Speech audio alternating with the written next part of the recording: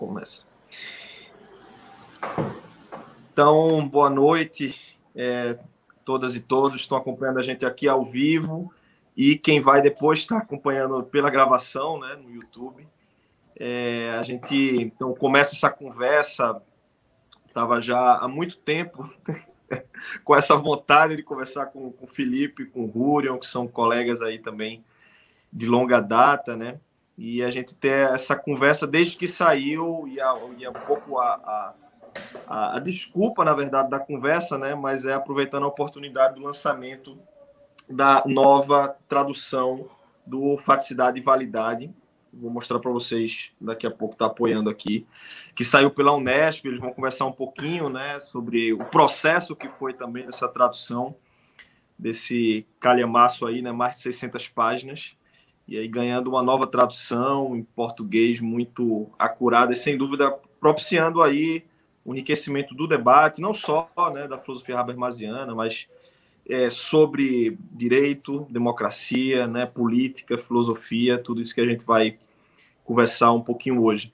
Então, para quem não conhece, né, Rurion Melo é professor no Departamento de Ciência Política na USP, né, vem trabalhando aí também já há bastante tempo com, com teoria crítica, já também traduziu outras obras também do Axel Honneth, né, e vem contribuindo aí bastante para o debate, é, sobretudo direitos de democracia, também movimentos sociais, né, algumas coisas que a gente vai discutir hoje. E Felipe Gonçalves é professor do Departamento de Filosofia da Universidade Federal do Rio Grande do Sul. A gente também já nos encontramos algumas vezes por lá e, enfim, pelo, por tantos lugares aí no Brasil, né? Rúrio também já teve aqui no Recife. Falta você, né, Felipe? Chegar por aqui, quem sabe então um dia. Desde aquela época a gente já tinha uma ideia, né? De, sim, de sim, você sim. E Rúrio teve também aqui num debate que a gente fez com, com o pessoal da Alemanha, um evento sobre emoções políticas, democracia e direito em perspectiva transnacional, né? Já faz aí uns oito anos, né, daquele evento. E a gente está muito feliz, eu falo em nome do, do PPG Fio, né? atualmente estou coordenando o programa aqui de pós-graduação em filosofia da UFPE, é, de a gente poder estar tá acolhendo a esse debate junto com o NEFIP também, que é o Núcleo de Estudos em Filosofia Política e Ética, né? e certamente aí para os nossos alunos, alunas, nossos colegas também aí que têm trabalhado aí muitos desses temas, né? hoje vai ser uma conversa muito rica. Então, eu passo agora para a minha colega Mariana Fischer, que é coordenadora do programa de pós-graduação em Direito, é professora também aqui é, é, junto da gente aqui na UFPE, né, minha colega aqui da UFPE, junto também do nosso coletivo, esse projeto que a gente tem feito aí de ocupar as redes com outras narrativas, né, trazendo aí um outro debate é, de disputa também, levar a universidade aí nas redes. Então, hoje o nosso coletivo também é um, é um, é um parceiro né, nessa, nessa conversa. E então passo para Mari também dar as boas-vindas. É, oi, gente. Queria só reforçar as boas-vindas a Rurion. Já encontrei algumas vezes em São Paulo, né? É, ali depois das aulas, às vezes vai tomar cerveja, conversar. É, Felipe também não encontrei pessoalmente, mas já li alguns, é, é, já venho lendo, né, acompanhando o que vocês me escrevendo e no melhor estilo frankfurtiano, né, um, um encontro interdisciplinar, ciência política, filosofia, direito. É, é, eu acho que é, eu, Felipe, Érico, a turma do Nefip, a gente vem se esforçando muito para manter esse, é, esse trabalho de conexão entre, entre disciplinas.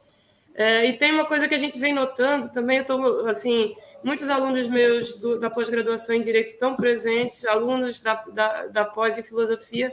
A gente está conseguindo. Uh, tem coisas que a gente faz e, e, são intencionais, e tem coisas que acontecem que não são tão intencionais assim, mas são muito interessantes. A gente está vendo que tá, tem um, uma espécie de corpo estudantil se formando, uh, que acompanha uh, esses trabalhos que a gente vem fazendo que tem essa característica. Alguns do direito, outros da filosofia, outros da sociologia, é, e que eu acho que é, esse, a, a, live de hoje vai somente reforçar, e que tem que ser um corpo interdisciplinar, interdepartamental e cada vez mais é, um encontro de outras universidades também. Né? Eu acho que o próximo passo é isso. Assim. É, mas dar boas-vindas a vocês, acho que é, a gente passa a palavra já para Rurion e Felipe, ou, ou, você quer falar mais alguma coisa, Felipe? Que a gente, Não, eu acho que a gente pode... Contextualização, né? Contar Sim. um pouco a história da coleção, especificamente da tradução. Na verdade, é, falar sobre faticidade e validade é perfeito, né? Porque é justamente aquele momento em que Habermas parece virar uh, um filósofo, um sociólogo, ele já era, mas vira também um filósofo do direito. E a repercussão que teve para o campo jurídico foi enorme. Então, acho que foi talvez o, o, mote perfeito para esse encontro. Então, é, é. passar a palavra uhum. para. É, vai ser um bate-papo, né, pessoal? Então, vou passar a palavra para Rúlio e Felipe para que eles possam contar um pouco a história né, da, da coleção e da tradução.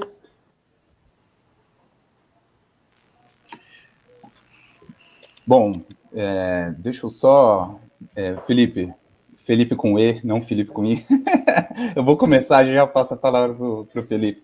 É, primeiro, claro, agradecer, olha, imensamente o convite que vocês nos fizeram para ter essa conversa hoje, né? É, desde o lançamento, claro, a gente ficou é, tentando marcar, um, concretizar né, essa conversa. Então, muito bom que foi agora. Estou é, realmente muito contente. Então, obrigado, Felipe. Obrigado, Mariana. Muito, muito, muito legal a iniciativa. É, e reencontrar o Felipe, que está agora na Alemanha, mas aqui, né, sempre online, nos últimos encontros. Mais uma vez, um grande prazer. É, a gente, eu, eu, queria falar um pouquinho sobre o contexto da coleção, e aí depois acho que eu posso passar para o Felipe falar mais especificamente sobre nosso trabalho na tradução do Faculdade de Validade. Né? É, eu acho que, é, a, sabe, tradução tem uma série de problemas, né, e dificuldades e muitos desafios. É, você pode acertar a tradução durante 800 páginas, se você escorregou em dois, três termos, aquela tradução vira um problema. Né? É, e, enfim, é, serviço de, assim, trabalhar com tradução, a gente sabe, paga mal, é trabalhoso. Tem, na filosofia sempre se diz que toda tradução é uma traição, né? É, mas é, dificuldades à parte, é, é, um trabalho, acho que importante para a nossa formação acadêmica intelectual como um todo, né? A ideia é, é ter com a coleção especificamente, mas acho que com as traduções em geral, a possibilidade da gente fazer uma formação em português de um pensamento conceitual consolidado. Né? É, é, isso acho que tem a ver com, com um trabalho é, de muitos anos atrás, de importantes tradutores, é, não só na filosofia, mas em especial acho que a tradição da filosofia com a tradução ela foi, ela foi especialmente feliz, né? porque ela nos legou possibilidades de retrabalhar e re, reatualizar uma série de é, termos, conceitos, revisitar alguns debates, eventualmente revisitar algumas traduções. Então, enfim, a gente leva muito a sério mesmo né, o trabalho de tradução, não só do ponto de vista do impacto público é, que essas traduções têm na formação né, dessa massa crítica é, intelectual e acadêmica, mas é, especificamente é, em relação à coleção, a oportunidade que a Unesp nos deu para é, fazer isso de forma aprofundada e acho que pela primeira vez, é, em longo prazo, em longo prazo, trabalhar com calma um léxico é, conceitual é, extremamente complicado, extremamente amplo e que só é, uma editora, eu acho, realmente engajada é, com esse tipo de é, com esse tipo de trabalho em longo prazo permite fazer, né? Outros outras editoras infelizmente têm um outro timing em relação a traduções e as vendas e a expectativa, né, do retorno dessas traduções do ponto de vista mercadológico. Então, a gente conseguiu juntar num momento acho que importante em relação não só à teoria crítica, porque como se sabe, falando da Unesp especificamente, mas não só a Unesp, mas cada dia mais temos mais acesso a traduções de autores ou em língua inglesa, em especial em língua alemã, aqui no Brasil. Né? E isso tudo compõe, eu acho que um ambiente muito favorável para a gente é, colocar a mão na massa mesmo nessa coleção Habermas. Né? A coleção Adorno, por exemplo, ela é impressionante, ela é incrível, é, e a gente se beneficia bastante também das leituras da coleção Adorno, e no caso da coleção Habermas, nos foi dada essa oportunidade de trabalhar é, é, um conjunto de textos que, no fim das contas, basicamente incorpora a totalidade das obras do Habermas publicadas pela editora Zurkamp, é, em diferentes momentos da sua obra, e que a gente possa fazer isso é, ainda pelos próximos muitos anos. Várias traduções foram feitas já, já foram publicadas. A cada tradução feita, a gente reaprende, a gente reelabora, a gente desenvolve um pouco mais a tradução, né? Do, tanto do ponto de vista conceitual quanto do ponto de vista estilístico. É um grande desafio. A gente tentou incorporar um, um, um pouco nessas traduções também, não só é, o que é específico de um, de um tradutor, e do, do, do, ofício da tradução, mas também da filosofia e da teoria social. Né? Essas traduções elas são resultado de um conjunto de pesquisas, de leituras, de textos, artigos, debates. Quer dizer, é, a gente no Brasil já tem, eu acho que um, um, um corpo, um corpus de estudos habermasianos bastante grande, importante e diversificado aprender com essa diversidade desses trabalhos teve é, resultado também nas traduções e, na, e, nas nossas opções, né? É, tanto do ponto de vista de, da compreensão da língua de saída e também o nosso cuidado em relação à língua de chegada, né? É, fazer com que isso seja, do ponto de vista da língua portuguesa, é, é, o melhor resultado possível. Então, estou muito contente. A coleção Habermas é, é organizada por mim, pelo Antônio Segato, pelo Denilson Verli, pelo Luiz Repa. É, o Felipe já participou é, de uma das traduções antes, né, de Técnica e Ciência como Ideologia. Vários livros importantes da, da coleção já foram publicados, outros muito importantes estão para sair. A gente tem várias traduções já prontas, já finalizadas, em últimas fases, assim, né, fase de revisão, fase de preparação do miolo. Então, o ritmo é bom, o momento é importante e eu espero que é, é, a, a coleção tenha vida longa.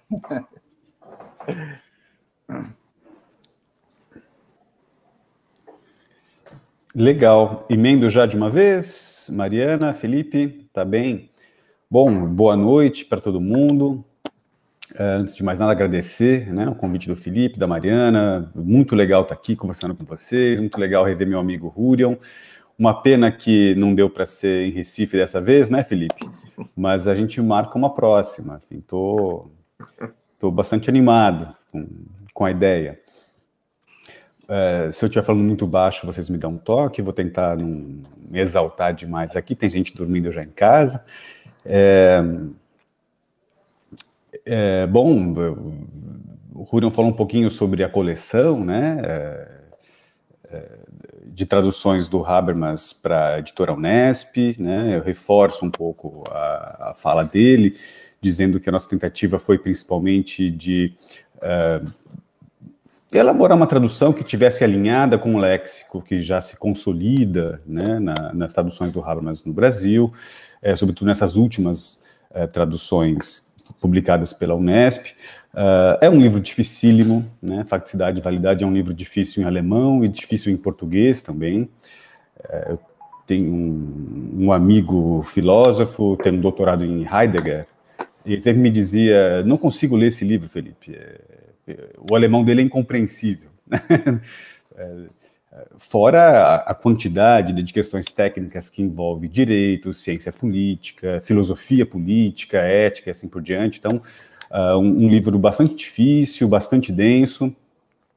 É, o Rui estava falando da, da, das dificuldades da tradução, né, de maneira geral. A impressão que eu tenho que, é, é que todo tipo de pequena alteração que a gente tentava fazer no livro, num livro imenso como esse, né, de cerca de 700 páginas, é como que manobrar um transatlântico em alto mar, né? Qualquer modificaçãozinha assim tem grandes implicações e tem que rever todo o conjunto. Então, tudo isso é, dá bastante trabalho, né? deu bastante trabalho é, para nós dois.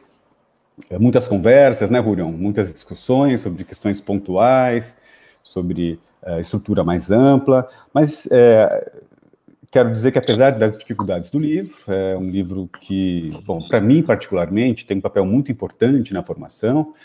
Uh, eu também fui professor no Direito, Mariana, fui formado em Direito, é um livro que teve um papel importante na, na, na conexão entre filosofia e direito para mim, tentativa de encontrar um certo lugar comum, um campo fértil né, entre esses dois campos disciplinares.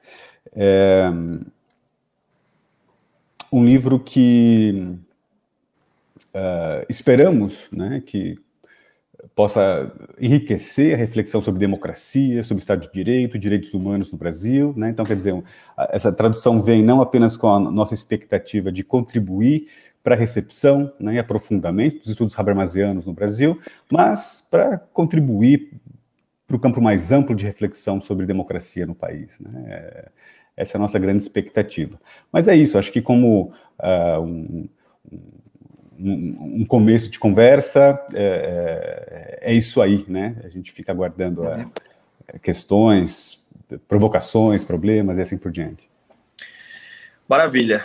Então vamos lá, né? Eu, eu, quando eu divulguei até essa live, né, eu falei assim: a gente vai conversar sobre filosofia, democracia e direitos, que são três coisas que, que, que, que, quase que raridade que precisa ser um pouco salvaguardada no contexto atual do que a gente está vivendo, né? Então acho que a conversa acho que vai ser muito pautada. É, eu diria sobre esse momento presente. E eu queria começar um pouquinho daí, né? Uhum. Assim, é, Faticidade e Validade é uma obra que foi inicialmente é, saiu ali em 92, né? É, a gente tem aí uns 27 anos, né, de, desde que foi publicada. Vou mostrar aqui agora. Estava apoiando o celular embaixo. Tá? Eu peguei o primeiro livro que apareceu, estava aqui, mas só para o pessoal eh, dar uma olhada aí no, no, no para ter uma ideia, né, do, do que são essas traduções, da, a tradução das 700 páginas, né. É, e aí, assim, eu queria talvez começar daqui, né, assim, é, o contexto que Faticidade e Validade foi escrito, né, ali um pouco pós-queda do Muro de Berlim, né, você tinha uma, é, uma espécie de, talvez de, de, de, é, de tentar se, se colocar ali diante de duas é, posturas políticas bem distintas, né? Então, primeiro uma queda um pouco do, do, do socialismo real, né? E uma postura diante da social-democracia, que era o que eu acho que estava ali vingando, né, dentro do contexto europeu, uma espécie de, é, de momento, digamos ali, do fim da história, né, para usar o termo de Fukuyama, onde a democracia liberal é, é, era, digamos, né, o, o, marco ali a partir do qual Habermas estava escrevendo e, se colocando de algum modo é, criticamente dentro de algumas experiências também, evidentemente, da é, desse modelo do estado de bem-estar social, né, e tal, mas é, ele escreve e, e, a teoria crítica como um todo, eu acho que assim, dos últimos é, é, 40 anos, né, e sobretudo devido a Habermas, eu acho que se move dentro de um projeto de aperfeiçoamento da democracia liberal, né? Então, assim, é, é o, aquele contexto onde Habermas escreve, né, a minha é, questão para a gente é, começar, né, aí é o que é que mudou de lá para cá, né? E em que medida vocês veem é, a atualidade daquela resposta que Habermas estava dando naquele contexto, né? Eu, eu lembro que no, até no, no, na, no início, né, no, no prefácio que vocês escrevem, na apresentação, né, do livro, vocês concluem falando um pouco dessas mudanças e apontando para possíveis atualidades, né? A própria ideia de uma esfera pública hoje que também que, que, que, que, que novamente precisa ser salvaguardada, né? Uma dimensão é, da própria ideia de desobediência civil, enfim, eu acho que vários conceitos que estão voltando aí.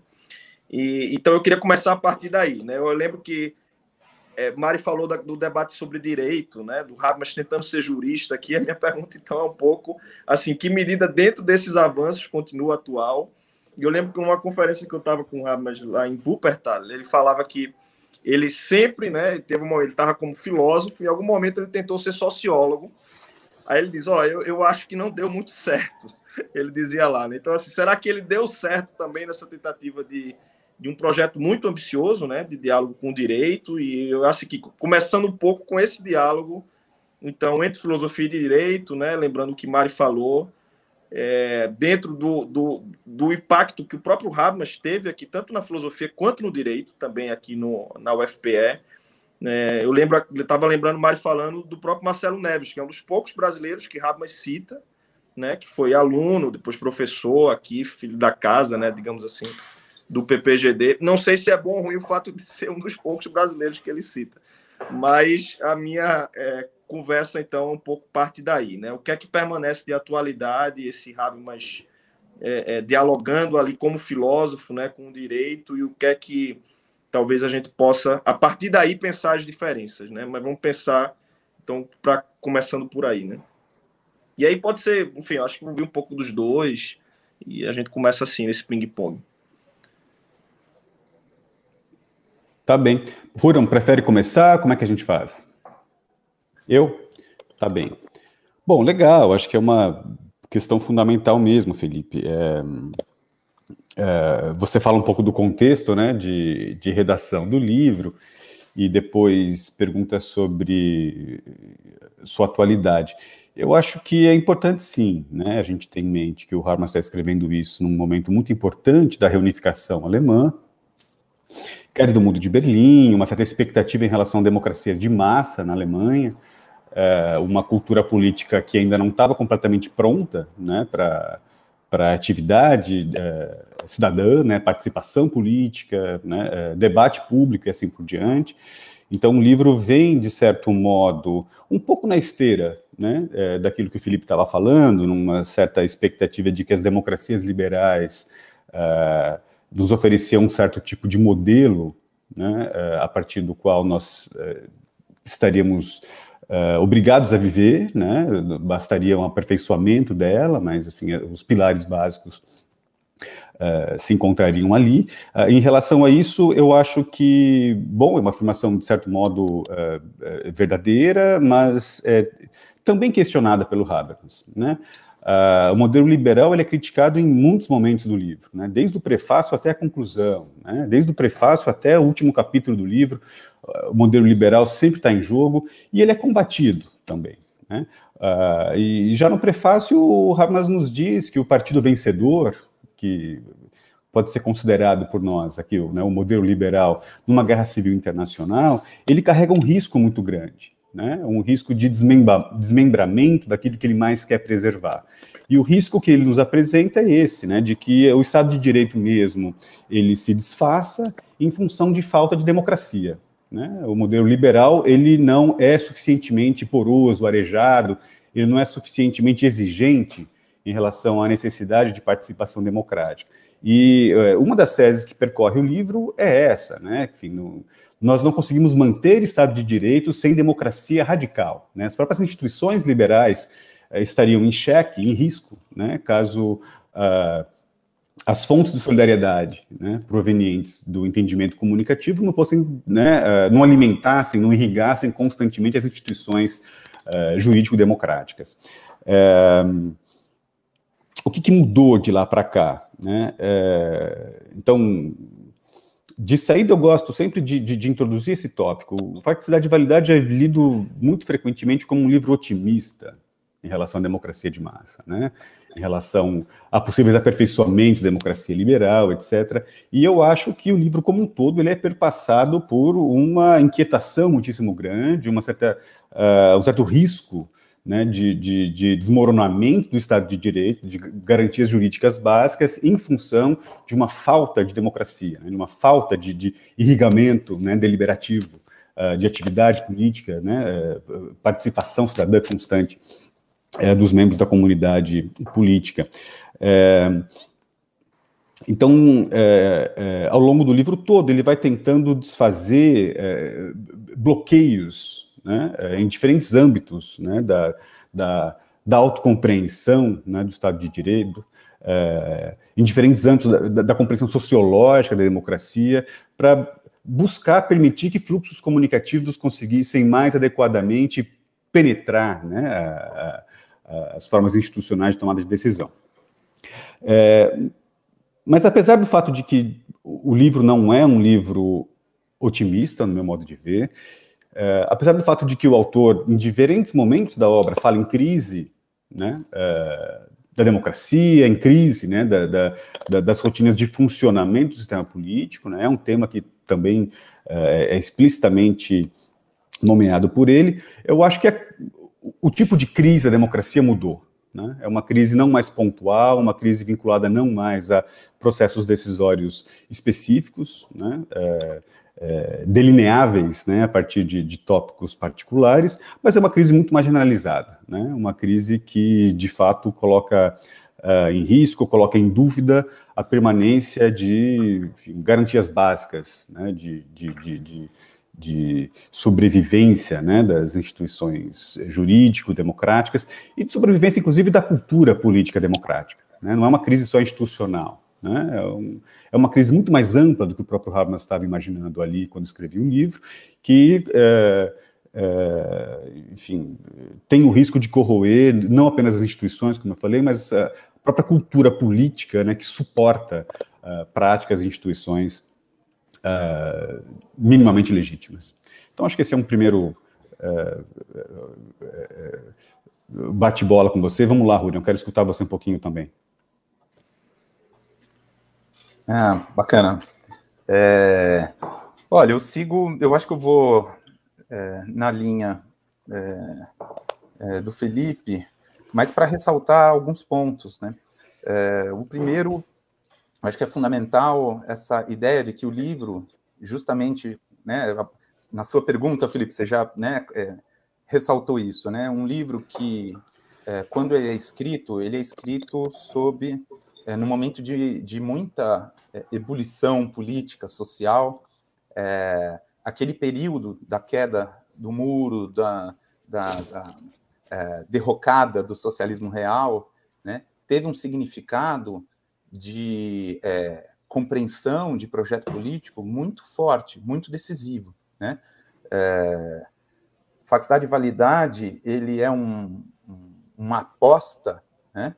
É, num contexto que não é otimista, muito pelo contrário, né? ele ressalta isso no livro o tempo inteiro, é, num contexto que, do ponto de vista do diagnóstico de tempo, ele está colocado, eu acho que sobretudo no outro livro dele, e aí explicitamente em várias, vários momentos, é, porque é tema do livro, que é um livro que inclusive vai sair agora, é, acho que daqui uns dois meses, mais ou menos, pela coleção Rabins, que é o, a Revolução Recuperadora, que é o contexto de reflexão dele do final da década de 80 e início dos anos 90 é, sobre o socialismo, né, o que significa o socialismo, qual é o futuro do socialismo, é, enfim, o esgarçamento da cultura político-democrática e é, em relação é, há uma questão, acho que crucial, né? O Habermas é difícil de compreender em relação a, a, a que posição, afinal, é, mais é, é melhor o definiria, né?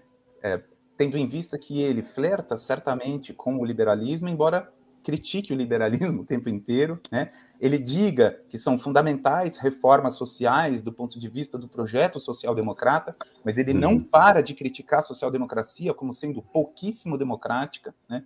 O, o Hamas é muito claro a ideia de que naquele momento é preciso recusar a ideia de que a história acabou. Ele, aquilo para ele é definitivo. Uhum. Né? E é preciso recusar a ideia de que there is no alternative, de que não há alternativas, né? que é típico do neoliberalismo. Então ele diz o seguinte: olha, existem sim, né? essas alternativas estão postas, né? elas estão postas em outro lugar, de uma maneira mais complicada, um tanto confusa, porque a cultura política ficou confusa. Né? Ele fala muito sobre ah, as, é, os sentimentos políticos pós-queda do muro e o que aconteceu na Alemanha, sentimentos republicanos, sentimentos nacionalistas, perseguição aos comunistas, é, é, uma, uma definição muito pouco clara a respeito do que significa conceder direitos para aqueles que eram né, é, da, da da, do leste é, do leste europeu e foram para o lado ocidental. É, o, o, paternalismo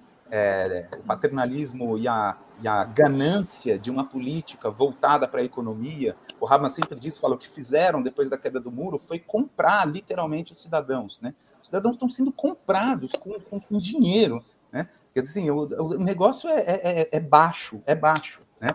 Ele é um desafio, estão perseguindo movimentos sociais, ele faz análise do, ele faz análise do, do relatório da Comissão de Violência a respeito da perseguição dos movimentos sociais é, no início dos anos é, 90 na Alemanha. Então, assim, ele está muito preocupado porque, ah, na visão dele, existe sim alternativa. Né?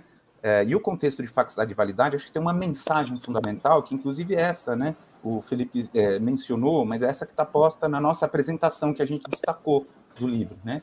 É, que é o seguinte: as instituições, quer dizer, a liberdade está sendo ameaçada. Né? Está sendo ameaçada. No entanto, a produção do diagnóstico mostra ainda que cidadãos, diante do risco à sua liberdade, eles lutam, eles podem lutar, eles reagem. Né?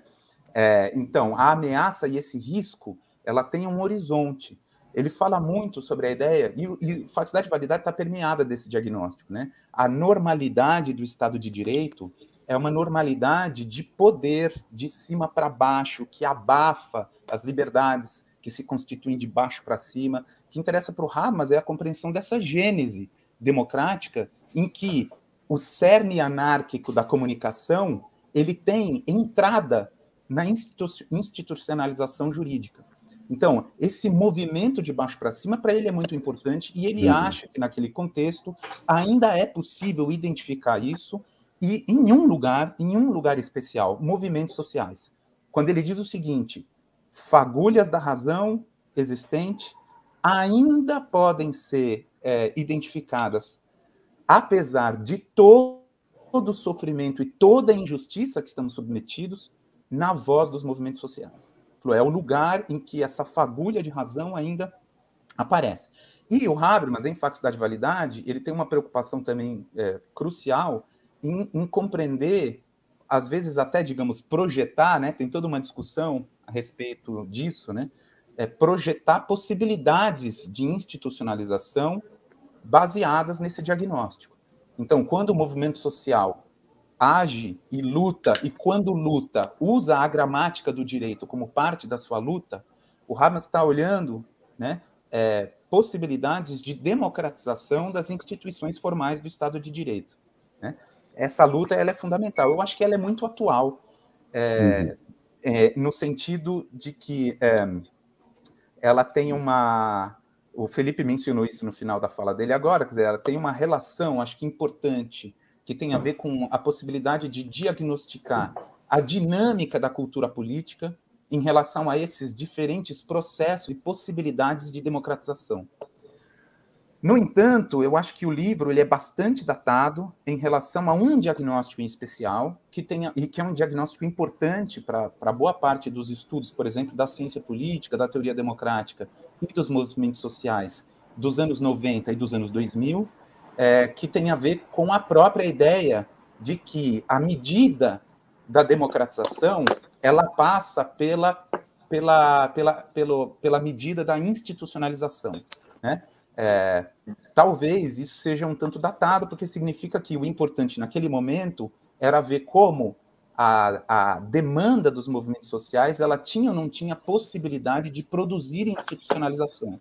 Né? E essa medida ela é crucial, porque é ela que permite saber se, quando eu institucionalizo de uma forma democrática, se eu consigo romper em algum momento o poder que se exerce e que se cristalizou em torno do sistema político e do Estado de Direito. Quer dizer, e esse poder, na verdade, é um poder social, é um poder econômico, um poder cultural, poder político, né? Eles se cristalizam no sistema político e no Estado de Direito tal como ele é. Hum. E contra poderes, a tal contra-hegemonia, né? É, ela só pode acontecer se ela ocorrer de baixo para cima, né? em alguns raros momentos em momentos de crise.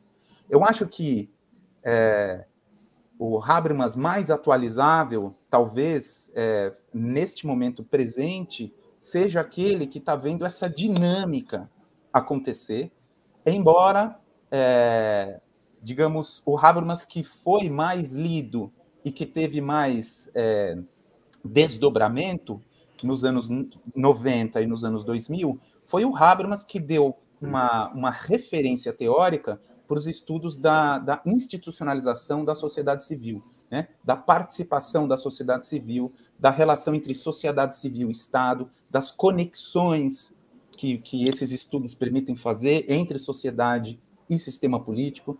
É, então, talvez, digamos, é, esse momento foi mais importante alguns anos atrás, né? É, e, e, e, tem sido menos importante agora. Essa, pode haver uma virada, né? Por exemplo, no caso, do, da, da, no caso da destruição das instituições democráticas existentes, né? o que a gente vai, digamos, almejar no futuro é uma reinstitucionalização de tudo aquilo que a gente perdeu, né? Mas, digamos, eu acho que para começar a gente pode, pode é, partir daqui. Tá, gente, eu tenho, tenho uns comentários misturados com perguntas, assim. Achei tão preciso, Rúrio, essa tua fala agora, em que você diz assim, olha, o Habermas de faticidade e validade é aquele que diz, olha, a medida da democratização tem a ver com a institucionalização. Acho que foi, foi, foi muito preciso. Uh, mas uh, uh, o meu comentário, eu queria retomar a questão inicial de Felipe, né? Ele diz, olha, depois de Habermas a gente tem uma teoria crítica que se encaminha para um aperfeiçoamento é, do modelo liberal. E aí o desenvolvimento da questão nas falas do uh, Felipe Gonçalves e depois de Hurion é sim, mas tem algumas ambivalências aí, né? Uh, o Felipe disse bem, talvez Habermas não seja tão otimista uh, quanto parece. Se a gente comparar com Adorno, certamente é, mas, é, é, mas talvez não seja tão otimista assim. Foi legal, foi um bom lembrete. É, mas é, é, eu queria lembrar, insistindo nessas ambivalências de Habermas com relação ao governo liberal, é, que faticidade e validade ele é escrito sob pressão, podemos, é, ou, ou é, tendo em conta ou com sensibilidade a certas críticas. Eu estou me referindo às críticas das feministas norte-americanas. Eu tenho muito em mente Nancy Fraser, mas não só, tenho Joan Landis também, Aí, uh, naquela, já na parte final de faticidade e validade, ele usa justamente o exemplo das feministas norte-americanas para dizer: não, uh, a gente precisa escapar de algumas armadilhas de um modelo de estado uh, de, um modelo de estado de bem-estar social paternalista, e as feministas nos dão boas dicas sobre como fazer isso. E aí ele tem em mente a, a, a Iris Marion Young, as feministas de segunda uh, de segunda onda, sobretudo. Né? Então, uh, uh, na verdade, eh, o meu comentário se refere a um Habermas eh, em tensão, com as feministas norte-americanas. E isso me coloca, assim, nos coloca numa posição curiosa, assim. Vamos pensar na recepção de Habermas no Brasil, ali década de 90, comecinho, comecinho da década de 2000. Uh, ah, aqui no, tá nos departamentos, talvez na sociologia, antropologia, o feminismo já tivesse entrado com mais força. Mas nos departamentos de direito e de filosofia, ciência política, talvez eu possa dizer a mesma coisa, Rui. Você, uh, você via uh, poucos escritos uh, tendo como base um feminismo refinado, né, como o, o, o de Fraser e algumas outras, a própria Iris Marion Young. É, e agora, olha só, é, é, esse impulso de, é, nova tradução de Habermas, eu fico pensando nas novas leitoras. Você vai ter leitoras de Fraser que, ah, talvez Habermas seja interessante porque eu ando lendo Fraser há bastante tempo. A gente vai ter um, um, uma inversão do jogo aí. E Habermas vai ser lido, talvez, mais em tensão com o feminismo do que foi no passado. Isso me parece uma excelente notícia, porque talvez é, é, esse problema de estar datado né, é uma questão. É, porque, na medida em que a democratização tem a ver com institucionalização, isso é posto em xeque por muitas feministas que estão repensando a esfera pública. Fraser continua dizendo, por exemplo, que Habermas ainda, apesar de muitos esforços, ainda não conseguiu levar suficientemente a sério as coalizões transnacionais. Ele continua ainda, talvez, preso a um modelo excessivamente westphaliano. E é claro que ela põe em xeque uh, uh, aquilo que uma esfera pública liberal pode pôr em jogo e aquilo que é, é, é estruturalmente excludente naquele modelo de esfera pública, talvez ainda demasiadamente liberal em Habermas. Então, eu estou muito curiosa sobre o que pode vir a acontecer e como ele pode ser relido nesse outro contexto, em que as feministas entram mais né? É, é, no direito, na filosofia, talvez um pouco mais na ciência política, e são levadas a sério. Quer dizer, você tem um feminismo realmente refinado agora. E Habermas talvez seja lido não, não, não, não, não, não feministas sendo lidas sob a ótica hum. habermasiana. Tal, talvez Habermas seja relido sob uma ótica feminista, o que talvez produza um, um samba legal, né? Produza, produza, seja capaz de produzir umas coisas legais, assim. É, então, queria também, porque eu sei que vocês dois estão interessados nesse tipo de questionamento, queria ouvi-los sobre isso e aproveitar para já, assim, é, na fala de vocês, se vocês puderem. É, vocês começaram falando sobre o lexo, né? sobre ah, como é que a gente chega a alguns consensos sobre o lexo, tendo em conta uma terminologia que já vinha ganhando uma certa solidez entre os, as leitoras e leitores, e leitores brasileiros de Habermas.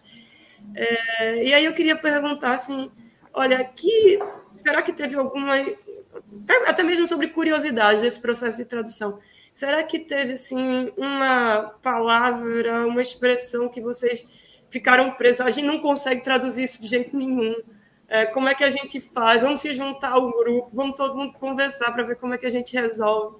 Aí, talvez vocês tenham um, uns casos assim para contar. Eu queria muito ouvi-los.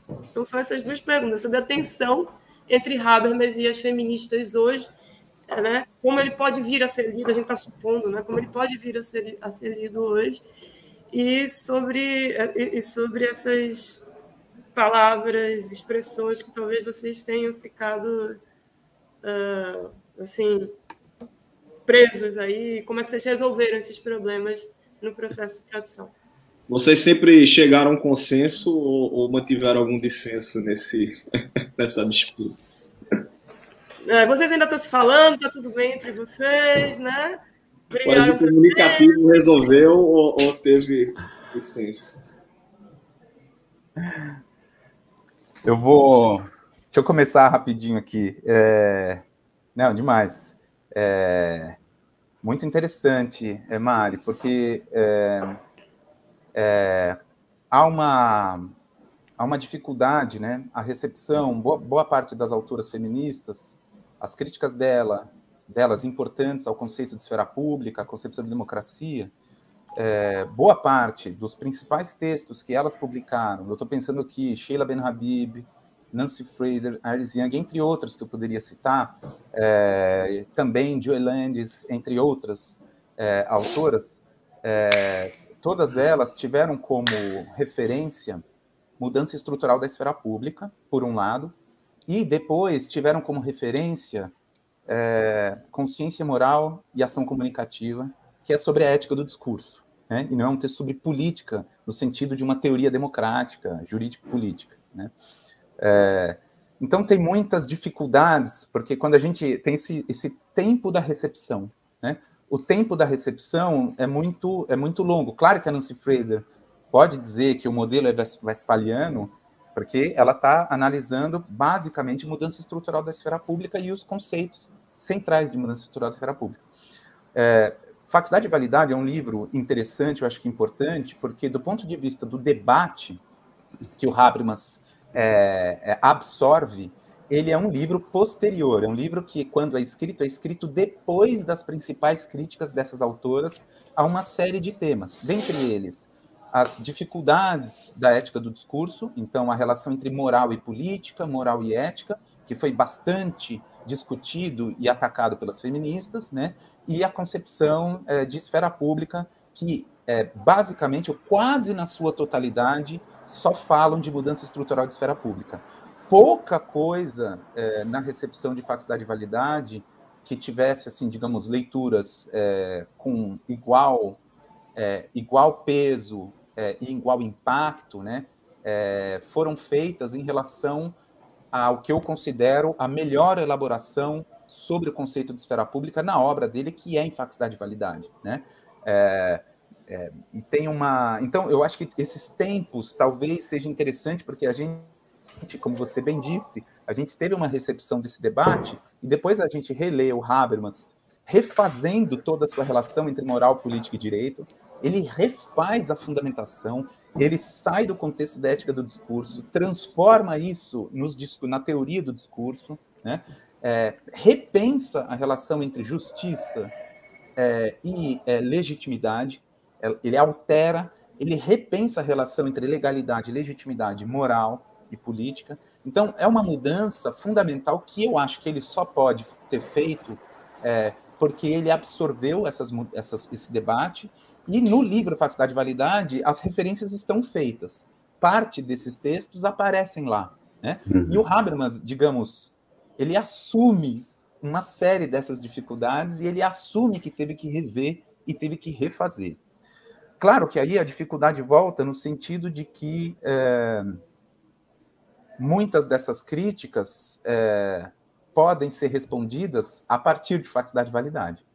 Porque facilidade de validade é rever o conceito de esfera pública, rever o conceito de fundamentação é, de validade político-jurídica, né? rever o estatuto da moral em relação à fundamentação política, tem um, um, princípio de democracia que altera as relações, ele revê a relação da razão prática, né, dos discursos práticos, do ponto de vista da, da, da relação entre moral, ética, é, é, moral, política e, e, e, e relações é, é pragmáticas, né?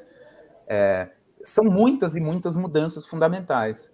Então, eu acho que esse debate ele tem que acontecer mesmo é, nessa, nessa volta do livro, nesse contexto em que, em que eu acho que talvez agora a gente está mais é, a gente está mais é, atualizado em relação a todas as críticas que foram feitas antes de Faxicidade e Validade. Basicamente, quase todas que são críticas conhecidas e que foram fundamentais, não só para o Habermas, mas para a nossa compreensão do debate pós-Habermasiano, fazem parte disso. E aí, só uma curiosidade, é, é, eu estou é, terminando o Consciência Moral e Ação Comunicativa.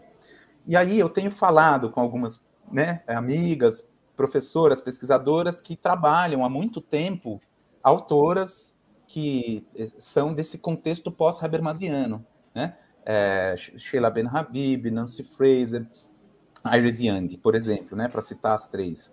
É, e aí é muito interessante como elas estão assim querendo, inclusive, fazer eventos e propor debates, porque é, é, o contexto de consciência moral e ação comunicativa é muito mais, digamos, é, presente nas críticas dessas autoras, para que a gente possa entendê-las e repensar as consequências das suas críticas, do que faxicidade e validade. Então eu tenho visto isso, né? A gente já está assim quase próximo de uma recepção de consciência moral ação comunicativa, por quê? Porque é o contexto da ética do discurso, e muitas vezes, tem várias vezes que há uma relação direta, por exemplo, entre ética do discurso e conceito de esfera pública. Que o Habermas mesmo nunca fez, nunca, nunca fez, né? nunca. Ele sabe que são é, estatutos diferentes do, digamos, da arquitetônica, né, é, da concepção dele sobre política e direito, é, mas às vezes é, essa ligação é feita direta, então é, teores normativos do conceito de esfera pública de mudança estrutural era imediatamente vinculado ao princípio de universalização da ética do discurso. Dizer, enfim, são essas alterações e essas mudanças que facticidade e validade é, ajuda a que não se faça mais, porque ele é muito claro que essas relações não podem ser é, é, é, é feitas assim sem um prejuízo do ponto de vista da fundamentação. É, Claro, bom, com relação aos termos, são, são tantas, né? Se a gente fosse. Foram muitos, são muitos termos, porque a gente tem uma, é, uma preocupação que era o seguinte: claro, nossa discussão lexical em relação ao livro, né? a nossa discussão lexical em relação à coleção também, porque uma, das, uma pretensão da coleção é que, ao menos em relação aos conceitos mais fundamentais, a gente pudesse manter durante toda a coleção, para que não fique mudando. Cada obra tem um outro conceito, a pessoa não tem a menor ideia de que é o mesmo conceito que está sendo trabalhado no livro de 82 e no livro de, de 90, né? É, e que a tradução não é outra, porque esses conceitos eles permanecem. São conceitos que, que é, eu acho que tem uma discussão que tem a ver com a possibilidade de que cada tradutor tenha é, suas soluções, que são soluções adequadas. Claro que quando soluções são diferentes, a gente sempre discute. Aconteceu basicamente todas as vezes em que a gente se deparou com, com termos, né, Felipe, que eram termos, digamos, é, que, que provocam algumas dúvidas mais evidentes, né? Quando alguns desses termos provocam dúvidas mais evidentes, eu acho que aí sim é o momento em que você tem que abrir todas as possibilidades, quais são todas as soluções para aquele termo. A gente tentou evitar palavras é, que é, é, a mesma tentou evitar ao máximo palavras iguais no alemão que fossem é, solucionadas em português com diferentes traduções, é, então manter uma certa é, imagem né, dos termos. Mas isso acontece, olha, com todos os livros, né? É, acho que cada livro também tem uma especificidade e algumas soluções, e essas soluções elas vão se alterando, né? É, claro, posso, enfim, posso puxar uma lista desses termos aqui que eram termos é, de discussão que nos deram um certo trabalho. Isso sem dúvida, mas sempre há, sempre há dificuldades de chegar a alguma, alguma solução. E só para vocês saberem, é, é, a gente diz, o Felipe tem a piada, né, que a gente é, vai chegar, a gente vai levar esse livro, a tradução de facilidade de validade, a gente vai levar esse livro até a décima edição, porque cada vez que a gente se depara com ele, tem um ponto lá você fala, puxa, e se essa aqui fosse tal coisa? Ah, então, então beleza. Esse aqui, se a gente alterasse isso aqui, podia ser tal coisa, não é melhor? Né? Eu sou daqueles que, quando eu leio minhas traduções, é, eu sempre viro e falo, puxa, se eu tivesse feito isso, teria ficado mais legal. Olha, se eu tivesse, né?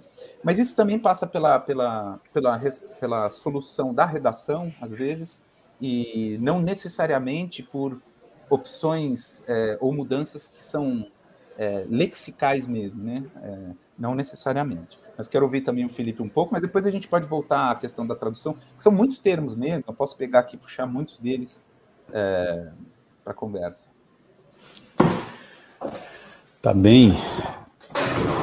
Bom, a, a pergunta da Mariana eu acho que é fundamental no livro, né?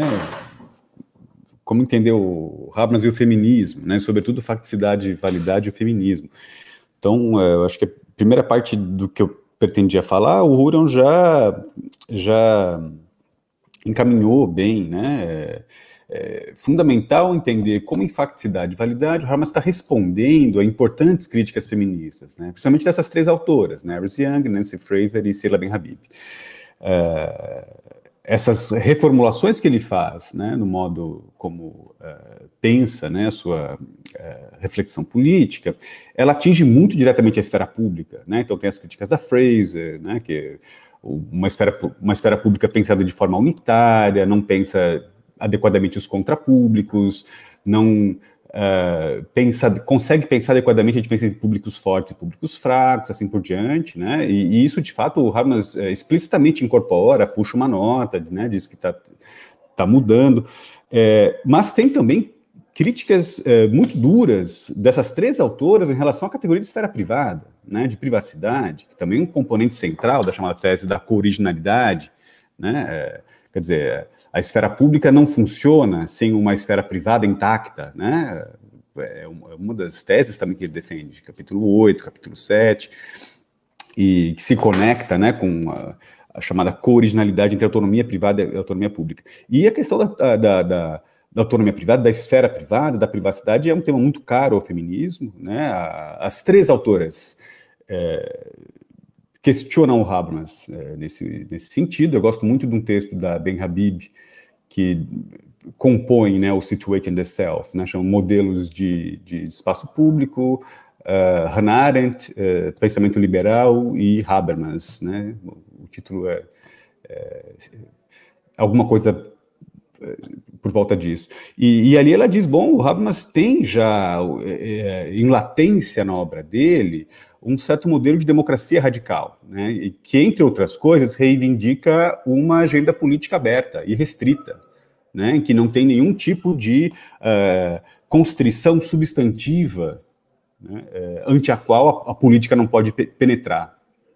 Então, é, é, é, ela identifica isso no Habermas, né? a noção de esfera pública do Habermas é mais poderosa do que a da Hannah Arendt, e mais poderosa do que o pensamento liberal, né? sobretudo uh, Rawls, mas ela fala, mas tem um problema no Habermas, ele ainda uh, pressupõe uma concepção substancial de esfera privada, ele ainda trata a privacidade como domesticidade, como família, como intimidade sexual e assim por diante. E com isso, uh, corre o risco de acobertar uma série de injustiças que se passa no interior profundo né, no interior sombrio da casa de família. Uh, então, veja bem, a Habib está tá, tá tensionando o Habermas nesse sentido. Você tem uma concepção de esfera pública que é radical-democrata, mas você pressupõe ainda componentes substanciais na distinção entre privado e público. Uh, componentes substanciais que eh, na própria Hannah Arendt nós encontramos também, pelo menos a própria Ben Habib, né? Também combatia isso em Hannah Arendt, e falava, bom, você, o Habermas não conseguiu resolver. E em facticidade e validade, o Habermas vai ter um, um, um trabalho grande em desfazer essa substancialidade, uh, ainda que sem jogar fora a concepção de privacidade, que é considerado por ele uma das bases do Estado de Direito. Então ele tenta uh, traduzir a esfera privada em termos de estruturas comunicativas, formais. Né? É, é, é um certo modo muito específico eh, de se comunicar que acontece quando o acesso é protegido. Isso muda significativamente o tipo de circulação uh, comunicativa ali dentro e o modo como ela emerge para a esfera pública. Então, é uma tentativa também do Habermas uh, responder a essas autoras quando reconstrói a noção de privacidade, infacticidade e validade. O, o, o, pensamento feminista, sobretudo as críticas que ela recebe dessas três autoras, é fundamental para entender a especificidade da obra, é fundamental para entender os novos termos né, é, com os quais a reflexão política do Habermas se dá ali. O, o feminismo é considerado por, por Habermas ali como o grande movimento social, é o grande exemplo dele. Né? Se o Huron disse que os movimentos sociais têm uma centralidade uh, significativa no modo como o Habermas entende a passagem da política informal para a política institucionalizada, né? Uh, se, se os movimentos sociais, de maneira geral, tem né, esse potencial na obra, o movimento feminista certamente é o caso exemplar para o Habermas. Né? Uh, mas tem um outro lado da questão.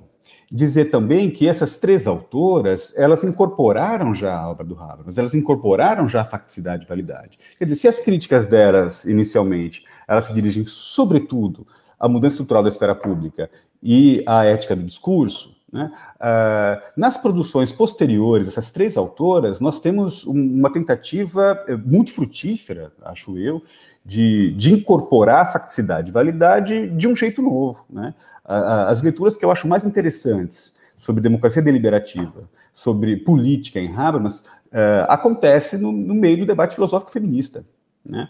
A Iris Young escreve um livro que eu acho lindíssimo, né, que é Inclusion eh, and Democracy, publicado nos anos 2000, que ela sim incorpora o Habermas uh, junto com uma outra leitura perspectivista, né, que, que, que, busca uh, chamar atenção para o fato de que eh, é fundamental nós termos uma esfera pública justamente para conseguir um espaço em que os, os, pontos de vista diversos a respeito de experiências sociais, de problemas sociais particulares, possam de alguma forma entrar em conflito né, e gerar processos de aprendizagem e por diante.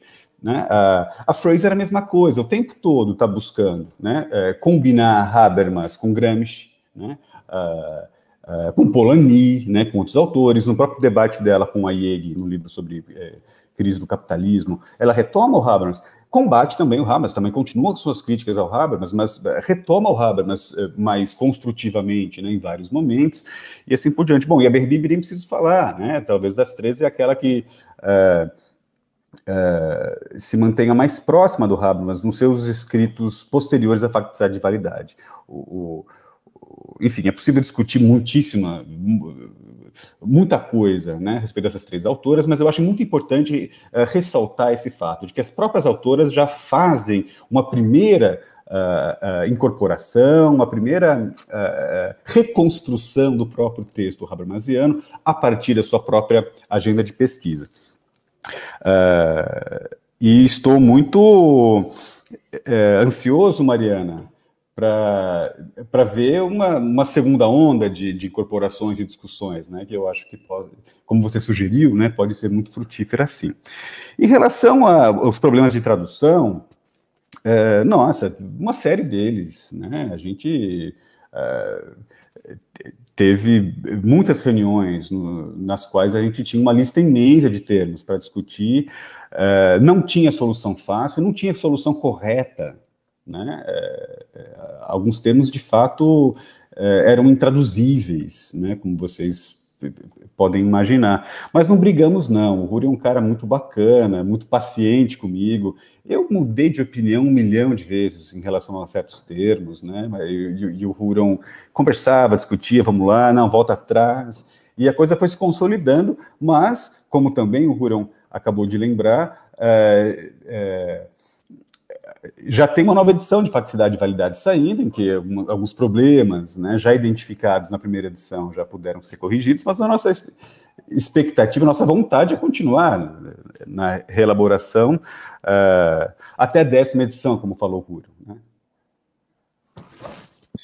Maravilha. É, só lembrando que temos um pouco mais de, de 50 pessoas aqui vendo a gente, tem já o debate está tá até quente lá no YouTube, eu estava vendo aqui que já tem algumas questões aqui para depois a gente. Então, quem está acompanhando aí, se quiser ir deixando aí as questões, tá? Daqui a pouco a gente é, tenta fazer. É a forma de se adaptar, né? Ao que seria o debate propriamente público, quando a gente está ali no auditório e tal, de, de abrir para o público, né?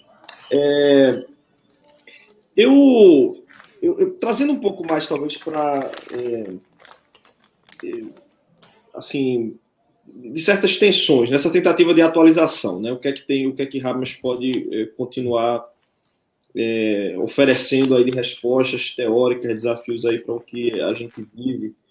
É, assim, a impressão que eu tenho é que tem dois Habermas aqui, não, dois lados de Habermas, no certo sentido, e eu acho muito da recepção de facilidade e validade da por aí é, mas de um Habermas como um todo, né? Que é um Habermas é, kantiano, né? Que é o Habermas que, que coloca um pé ali forte no procedimentalismo, né? Assim, está dialogando ali com o conceito de autonomia, né? Então, de é, sujeitos estão capazes de falar e agir, de oferecer bons argumentos e de você então é, trazer e fortalecer essa dimensão é, inclusiva do discurso, e que é algo que eu acho até interessante, porque esse, curiosamente, né, esse lado kantiano, é, é, kantiano colocando assim, né, de maneira esquemática, mas, enfim, esse, esse mais procedimental é, parece ser o Habermas que está querendo superar o, o, o, que no debate se é, tratou como injustiça epistêmica, né? ou seja, de inclusão nos discursos,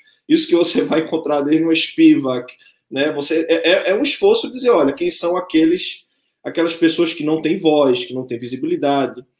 É, e, e no, no, fundo, o, o, pé no procedimento seria um tipo de esforço nesse sentido, né? O que a gente vai encontrar em muito da, é, é, digamos, mutatis mutandi, mas no debate é, decolonial, né? Ou seja, de você trazer um tipo de ampliação discursiva, é, quais são os discursos que são silenciados. Então, a, o pé na racionalidade comunicativa como proposta inclusiva, ao meu ver, ele aponta um pouco nessa direção. Né? Então, às vezes, é, é, é, é até, assim, curioso, eu diria, esse, esse ponto de encontro, né? Mas, por outro lado, o procedimento, né, ele também pode ser uma camisa de força né, é, ele, ele, também pode excluir, né, ele pode partir de pressupostos de racionalidade que também são excludentes, né, que também podem operar como uma forma de violência, né, é, e aqui me parece entrar o, esse outro Habermas, o segundo lado né, do Habermas, é, que, bem, eu sou, vocês sabem, um pouco é, é suspeito, mas é o, o Habermas hegeliano, né, e que eu acho que, curiosamente, esse Habermas, ele tem é, Habermas eu acho que tem se assumido até, assim, voltado a certas intuições mais hegelianas nos últimos escritos, me parece, né? Essa é um pouco uma, também uma... Pela própria ideia de Sittlichkeit, de compreensão um pouco de, de, de processos de compartilhar um sentimento de pertencimento, quais são aquelas... Né, o que significa, de fato, esfera pública compartilhada, que não significa apenas é, um modelo procedimental. Acho que o Habermas crítico das instituições da União Europeia, né, um pouco nesse sentido, dizer, olha, a rigor não há essa esfera pública compartilhada, as pessoas a, a, esfera pública ainda é fortemente nacional, as pessoas não se identificam com as instituições europeias, e aí é, é, é esse pé que eu acho que está ali fortemente presente já em enfaticidade de validade, que é algo que Felipe trouxe e que Hurion, de algum modo, também, né, que é a ideia de democracia radical. Né? Isso é muito interessante, eu acho, porque às vezes se atropela, não sei o que, é que vocês acham, né, a crítica rápida, mas muito por esse lado procedimental, quando é, é, tá, e vocês acho que colocaram isso bem, um esforço também de entender os limites desse modelo também, assim, de que o direito ele é só assumido pelas instituições da justiça é, é, e, que esse modelo talvez do Estado, de, é, né, é, é, a democracia social europeia desdobra isso, mas muitas vezes tendo como resultado uma exclusão da participação social, a, a, a, esses, ouvir né, essa, essa anarquia também que está presente ali naqueles potenciais de racionalidade dos movimentos sociais. Né? E eu queria só ler esse trechinho que está no prefácio, né, talvez para ouvir de vocês o que é que vocês acham né, dessa tensão como uma forma de, de atualizar rápidos, né? Que é um, um trecho que vocês é, até também colocam na apresentação, quando Habermas diz o seguinte, né? Mesmo nas democracias estabelecidas, as instituições existentes da liberdade não são mais incontestáveis. Ainda que nelas as populações pareçam pressionar não por menos, mas sim por mais democracia. Eu suponho, contudo, que a inquietação tem uma razão ainda mais profunda, a saber, a suspeita de que, no marco de uma política completamente secularizada, não é possível haver nem preservar o Estado de Direito sem democracia radical. Discernir o que subjaz a essa suspeita é o objetivo da presente investigação. Essa é a minha pergunta. Né? É, é... Vocês acham que há uma tensão entre procedimento e democracia radical? Né? Entre esses, esses dois lados? Né? É... Ou, ou seja, o que a gente vive hoje como uma espécie de crise também da democracia, né, no certo sentido, seria por uma é, digamos, esse projeto Habermasiano ainda não foi, isso para colocar nesses termos assim, um pouco é, anedóticos, né?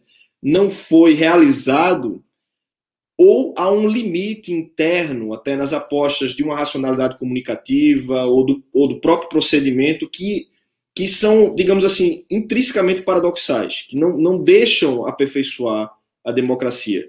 E aí eu concluo só com um, um exemplo para ilustrar melhor o que eu estou dizendo, que recente, né, a estátua de Borba Gato, para trazer um pouco para o que é o seguinte, o que é que o que é que está em jogo ali? É porque alguns disseram, ah, mas você tem as formas, né? Assim, o Habermas poderia pensar uma ideia de, de desobediência civil, né? É, mas não me parece chegar tanto, uma talvez é, de, de, como você pode reformular as instituições a partir, talvez, ou seja, de uma, de uma noção de violência, é, legítima, enfim, né?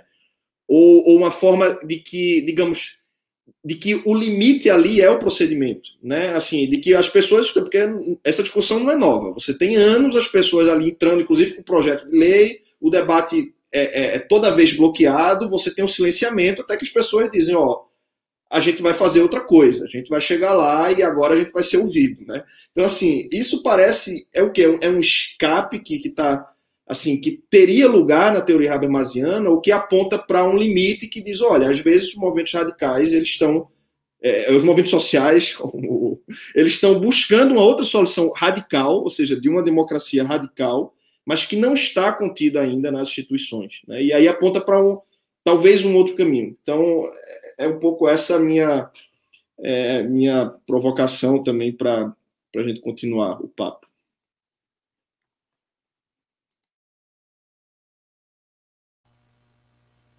Quer começar, Felipe? Pode ser, estava desativando o, o, o, mutado aqui.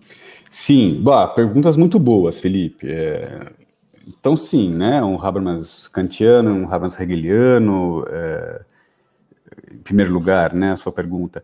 E, e, os dois têm relação com o procedimentalismo, né?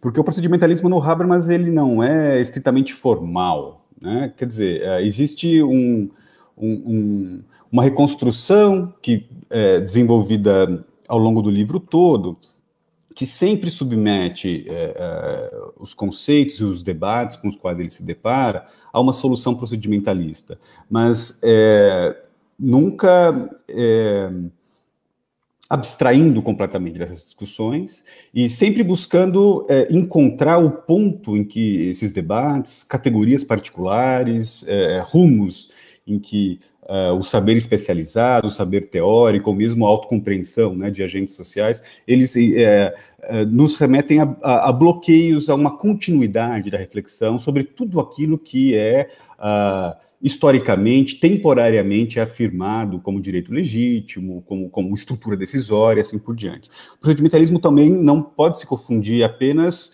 uh, com um procedimento formal de tomada de decisão, né? não é procedimento é, juridificado.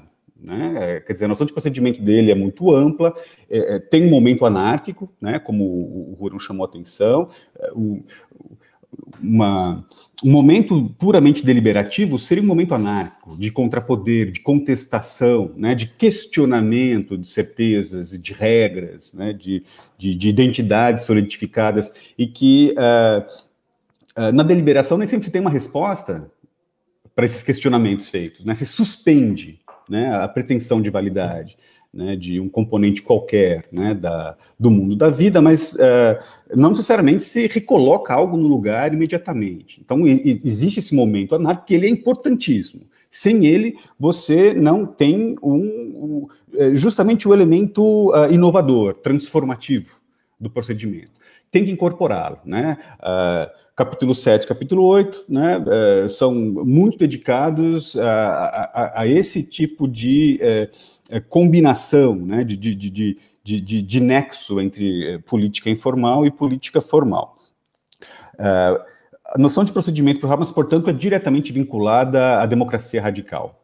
Né? Uma, uma democracia radical, ela, ela ela tem que se afirmar né, em termos é, de procedimento. Ainda que não estritamente, Felipe, concordo contigo. Né? É, é, você não pode dispor completamente de uma cultura política. Né? Você não pode dispor né, da existência ou não de movimentos sociais engajados né, na, na, circulação né, da, dos fluxos comunicativos, dos processos de aprendizagem, que podem vir a uh, reivindicar transformações na agenda política, na rotina de funcionamento do sistema político, mas também que pode se, uh, uh, se voltar às próprias instituições e práticas e saberes da sociedade civil, né? mesmo que independentemente do Estado, e muitas vezes. Né? quando Hamas fala em política dual, uma categoria que ele que ele retoma da Cohen do Arato, ele, ele, ele ressalta essa dupla via, né? A, a deliberação pública, né? O debate público, a, a, a, discussão na esfera pública, ela sim tem um vetor dirigido ao sistema político, mas também tem um vetor que se volta uh, reflexivamente à própria sociedade civil e busca ali transformar uh, estoques de saberes, né? Uh, normas, papéis, identidades, estruturas de personalidade, assim por diante. Você faz uma outra pergunta, Felipe, uh, e que eu acho ela bastante significativa também. Afinal de contas, o procedimentalismo não pode ser uma camisa de força, né? não pode ter um certo efeito excludente. O próprio direito não pode ter um efeito excludente, ele não, ele não deve ser visto também como um instrumento de dominação e assim por diante. Uh, concordo absolutamente com a sua provocação. Uh, eu acho que o Habermas não desenvolve suficientemente uh, é, em todos os aspectos desejáveis, a ambivalência do direito, mas ela está lá. Né? O direito é um, é um meio de integração social profundamente ambivalente. Ele pode servir tanto a, a canalização né, de fluxos comunicativos para o interior do sistema político, como também pode servir uh, para legitimar incursões uh, ilegítimas do sistema, do sistema político, do sistema econômico sobre a sociedade civil.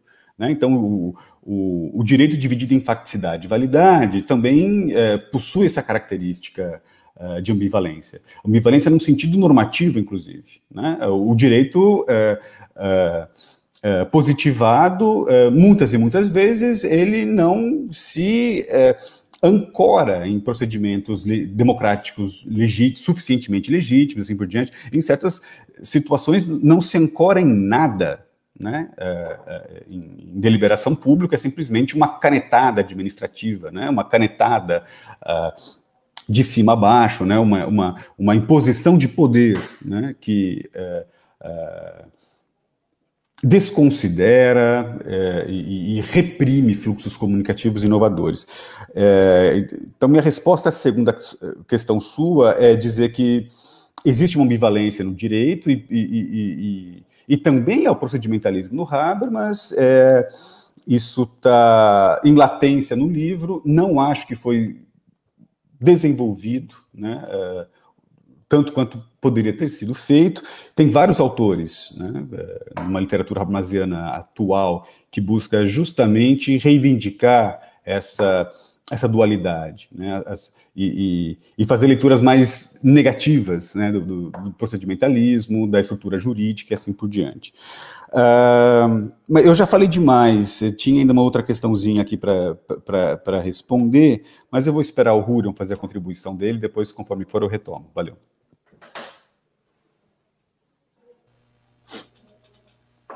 Excelente. A, a pergunta é fundamental, né? Acho que ela tem a ver com várias, vários momentos também do debate, das críticas que foram feitas ao Habermas, mesmo antes de facticidade e validade, né? A pergunta decisiva, claro, tem a ver com essa ideia, se o, se o procedimentalismo ele é suficientemente inclusivo, porque ele pretende ser radicalmente inclusivo, por isso é procedimental, né? Uma concepção radical democrática de tipo, por exemplo, não republicana, no sentido que o próprio Habermas é, é, é, formula, né? É, que você possa ter requisitos é, procedimentais é, mínimos para assegurar, como o Felipe falou no início da pergunta, para assegurar a participação, a não exclusão, a, a amplitude, a extensão das tematizações e das contribuições é, e que isso possa ser, digamos, universalizável, no sentido de que, em princípio, ninguém pode não ter voz nesse, nesse processo. Quer dizer, ele é muito radical em relação às é, condições procedimentais é, que são reconstruídas e que ele é, apresenta no princípio, por exemplo, no princípio do discurso e depois no princípio da democracia. Existem pressupostos? Sim, a obra do Habermas está cheia de pressupostos. E esses pressupostos têm que ser repensados, são, são pressupostos da própria, do próprio método reconstrutivo, né? Sujeitos capazes de fala e ação. Isso é um pressuposto do procedimentalismo.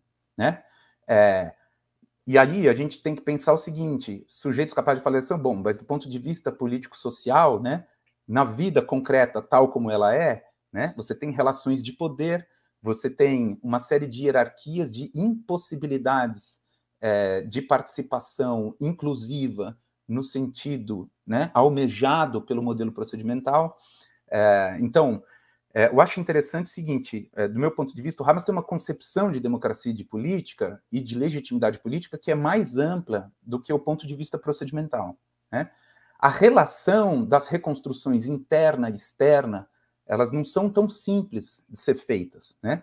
Mas elas são importantes. A reconstrução, ela, ela refaz é, esses pressupostos, essas pressuposições é, dessa prática comunicativa que é intersubjetiva, refaz esses pressupostos tendo em vista é, aspectos normativos que podem produzir é, uma decisão, ao final, que seja considerada mais ou menos racional, mas eu acho que o principal aí tem a ver com uma mudança de metodologia mais geral do Habermas na teoria crítica. Primeira delas, e aí você mencionou a autonomia, mas tem a ver com a ideia do ponto de vista do participante. Olhar para a prática social e fazer com que o próprio participante seja o responsável pela produção de sentido. E aí, uma vez é, é, é, fazendo com que isso seja a base, a base da. Dizer, quando eu estou falando de racionalidade, eu estou falando de teoria da ação, certo? Teoria da ação social. Então, quando eu faço isso, eu jogo o ônus dessa racionalidade para uma prática. Né? E, eu, e, e essa prática é fundamental, porque significa que os próprios participantes que são concernidos dessas decisões são responsáveis por, por levar a cabo, é, digamos, a efetivação desse procedimento. E não abrir mão disso, eu acho que é um dos pontos chaves do Habermas para pensar a radicalidade do, do, procedimento e do princípio de democracia. O conceito dele de, de democracia é radical por causa disso. Né? Ele diz o seguinte: qualquer cidadão, qualquer cidadão que seja sujeito de direito, ele é ao mesmo tempo destinatário e autor dessa norma e desse direito, porque esse direito está tá ancorado não só na sua própria liberdade, mas ele também o coage ao obir, a, a, a agir é, em observância a essas regras que foram coletivamente decididas. Né?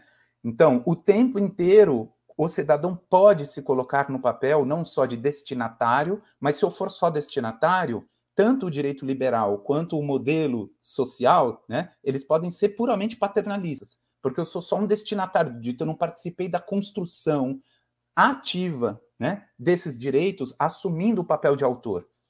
Quando Habermas diz que, do ponto de vista do procedimento, essas duas coisas estão vinculadas, não existe direito legítimo se eu não tiver sido aquele que é, afirmou né, e, é, digamos, ponderou a validade dessas normas conjuntamente com os meus outros parceiros, né, de, de, de, de, de discussão, de discurso, se isso não acontecer, eu crio, então, uma possibilidade de produzir decisões e normas que não sejam legítimas. Do ponto de vista abstrato, é, isso é uma coisa, e ele reconstrói isso, pensando a teoria deliberativa, né, política deliberativa, etc., do ponto de vista reconstrutivo.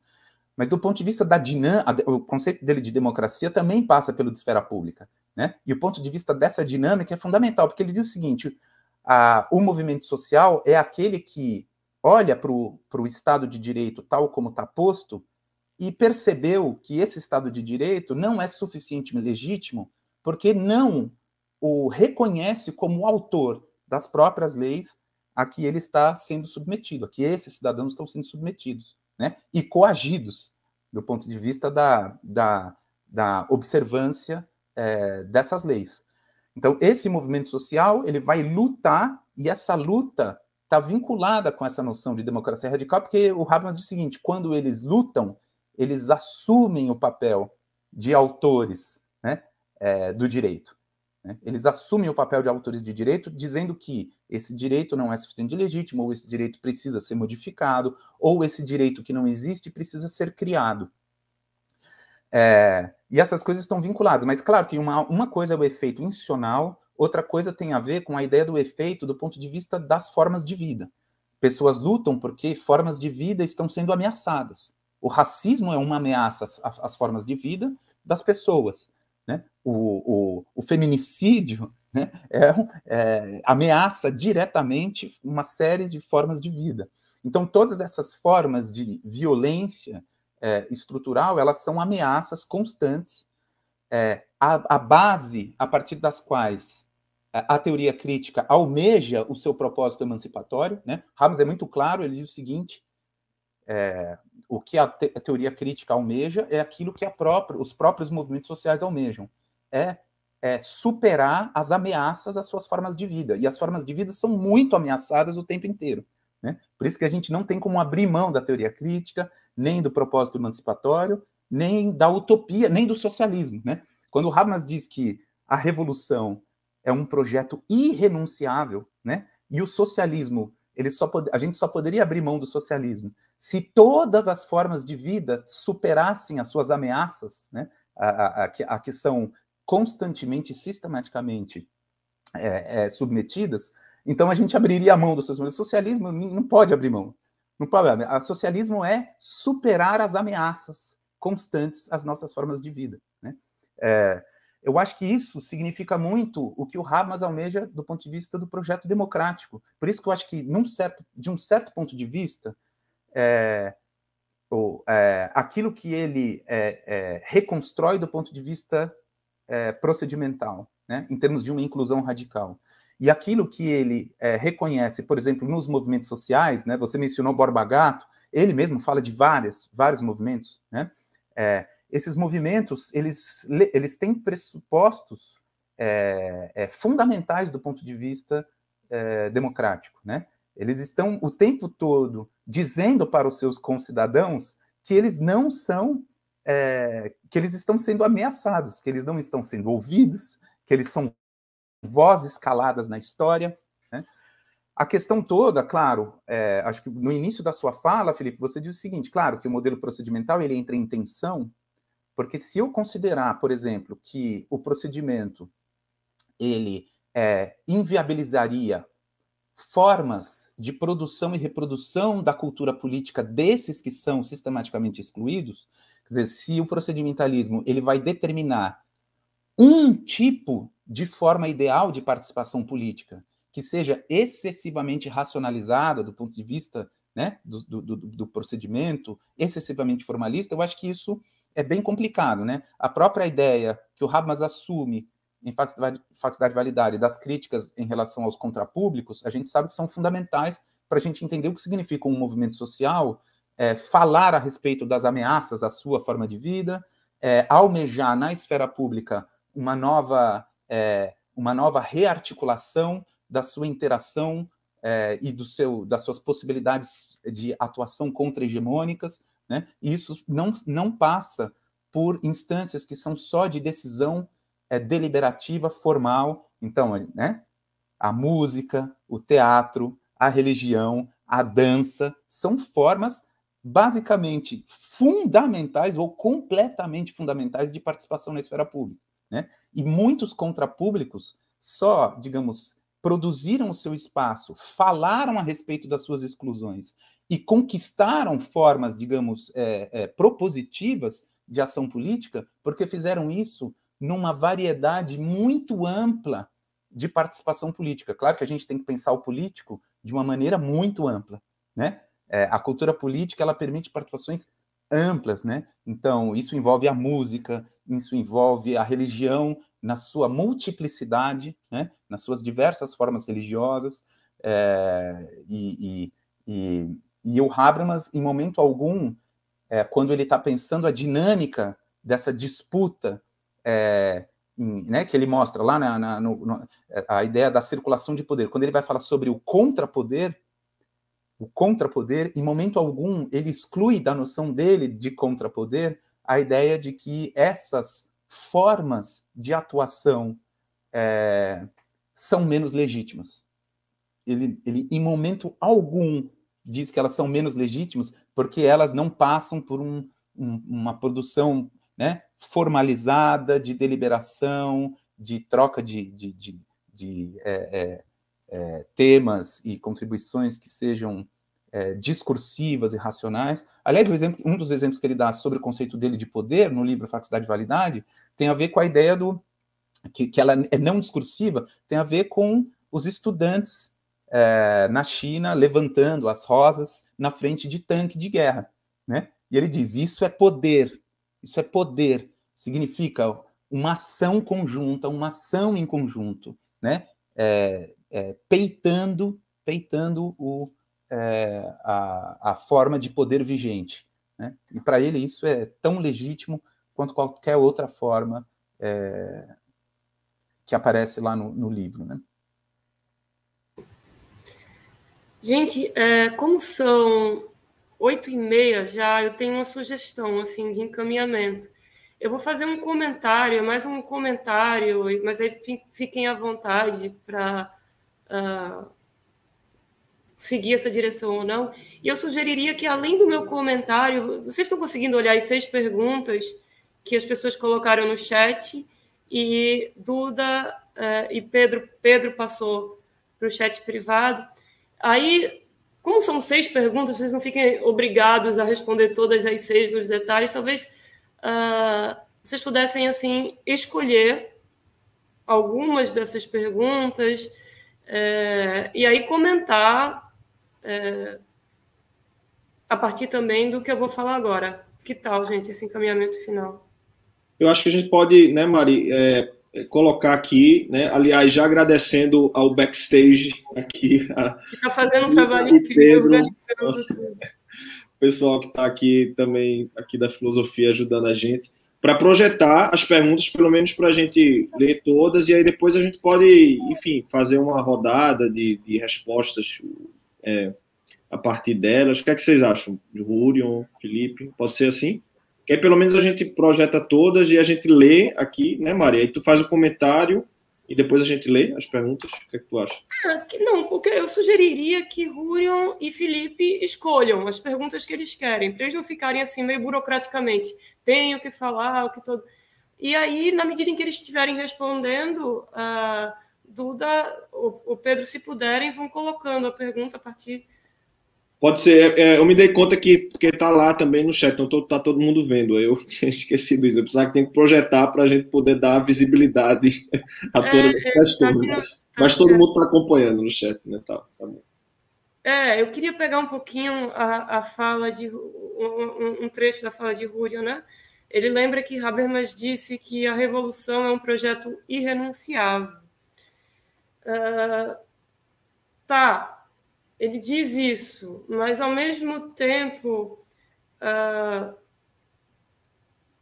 constru as construções teóricas habermasianas elas dirigem nosso olhar, eu diria, para um contexto a partir de uma influência liberal e dirigem nossos, nosso olhar para um aperfeiçoamento institucional. E a gente, vamos lembrar, né, Habermas, eu acho, acho que a gente pode dizer que é de fato um filho de maio de 68. Quando ele tem em mente os movimentos sociais, ele está pensando, não por acaso ele escolhe o movimento feminista como é, aquele movimento que de fato é exemplar é, ou paradigmático. Uh, mas nessa reconstrução talvez exista uma certa seletividade os movimentos operários do início do século, movimentos de orientação marxiana, me parecem que não, não te, que, que aí são, são movimentos. Bom, quando a gente pega maio de 68, são movimentos que estão muito alicerçados à noção de direitos humanos, por exemplo. Quero mais direitos. Né? Tem, então, uma demanda para se enquadrar dentro de um certo é, podem ser lidos, né? Eles têm, têm essa coisa de um enquadramento para uma linguagem do direito que já está aí, um certo, uh, uma certa localização institucional. Se a gente pegar os movimentos mais fortemente marxianos, a gente precisa de um desmonte muito mais radical de tudo que a gente conhece para que a gente possa uh, constituir uma, uma, uma, uma outra forma de vida social. Uh, voltando à minha, à, minha provocação anterior, eu estou realmente curiosa sobre como Habermas vai ser lido agora, sob, no Brasil, sob uma influência maior de autoras como Fraser, que, que nos lembram muito bem é, desse, desse. que não deixam de olhar para os movimentos de maio de 68, não deixa de olhar para instituições mas não se esquece é, do legado dos movimentos operários. Quer dizer, eu, é, eu, eu, venho me perguntando bastante o que vai acontecer se, com, na medida que as pessoas começam a ler Habermas sem perder é, um olhar nas instituições e um olhar na revolução. Talvez, talvez Habermas dirija demais nosso olhar, nosso olhar para o aperfeiçoamento, aperfeiçoamento institucional. Né? Tal como Fraser faz. Ou para falar como Angela Davis, né? É, você pode fazer as duas coisas ao mesmo tempo.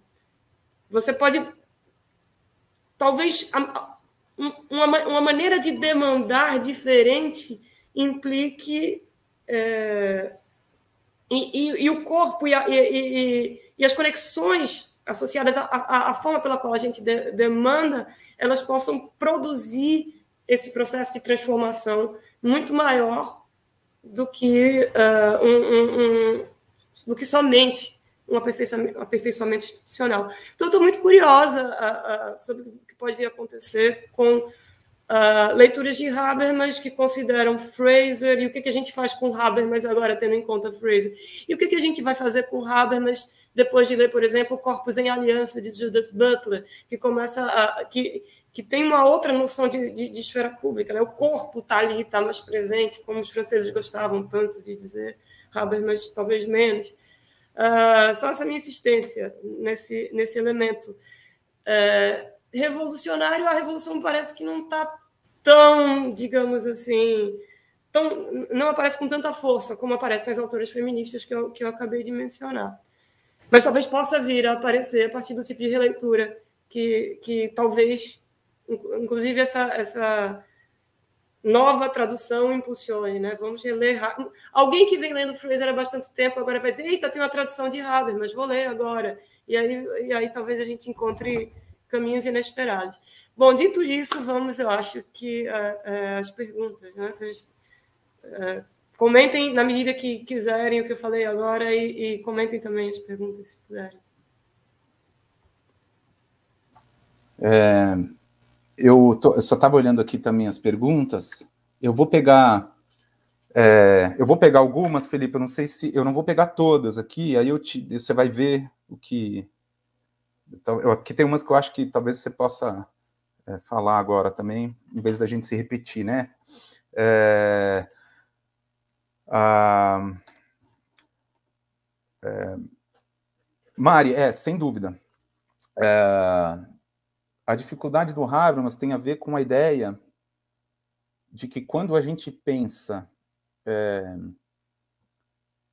é, a emancipação, a gente não consiga mais é, não consiga mais é, é, reorientar essa ideia de emancipação, a não ser, e isso tem a ver com o que eu falei antes, a ideia do Habermas de é, radicalmente colocar a, a, teoria crítica do ponto de vista metodológico, é, do ponto de vista dos agentes, né, pensar autonomia, né, é, tem a ver com a ideia de que só aqueles que têm a sua forma de vida ameaçada vão articular os novos sentidos da emancipação para o qual a teoria crítica tem que olhar. Né?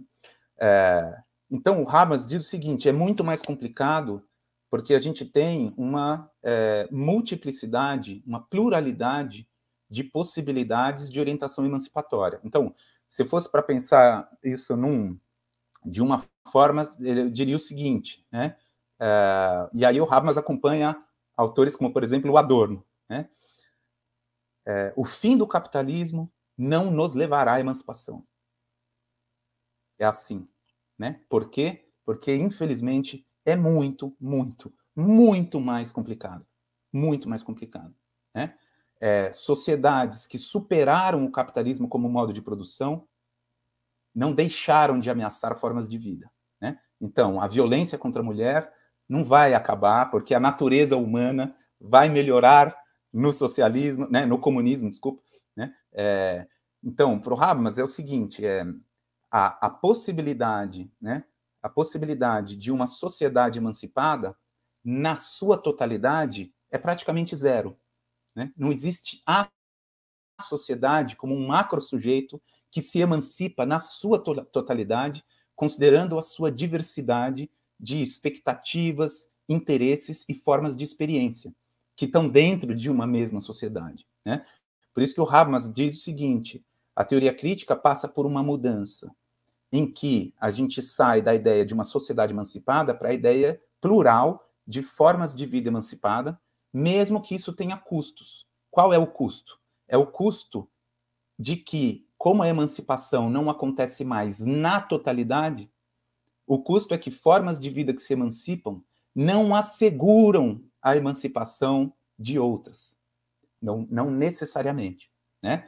Então, a gente está diante de uma discussão que, desse ponto de vista do que o Habermas fez, que para mim, esse tipo de discussão dele a respeito do conceito de emancipação, foi o que eu estudei né, no, no meu doutorado. Meu doutorado é sobre isso, justamente, é, com a ideia dos sentidos plurais da emancipação.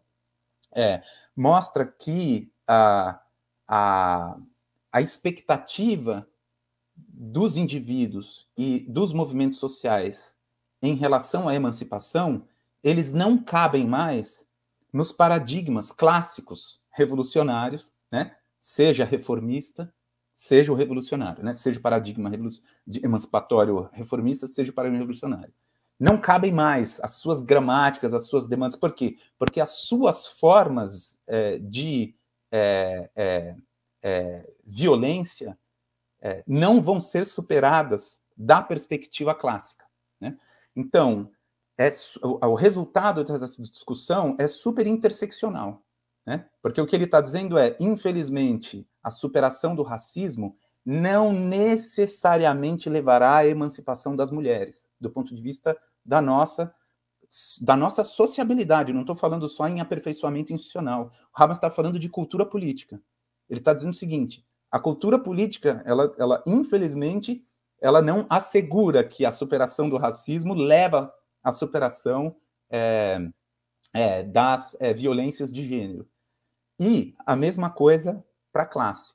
Quando Habermas escreve é, sobre isso, é, por exemplo, lá no contexto de teoria da ação comunicativa, é claro que ele está olhando para a relação entre classe e novos movimentos sociais de uma perspectiva muito mais específica, que eu acho que, eu acho que funcionava bastante antes e depois parou de funcionar. E por isso que Fraser, entre outras autoras, estão corretas quando elas cobram é, a ampliação ou a recolocação ou a recentralização, em certa medida, dependendo do contexto, da noção de classe né, para a perspectiva é, política emancipatória da teoria crítica, né, que acompanhou, em grande medida, novos movimentos sociais, teve a ver toda, toda a relação entre reconhecimento e redistribuição, etc., né, cultura e economia, teve, teve todo aquele debate. Né? O Habermas, é, naquele contexto, dizia que a capacidade, a possibilidade de reação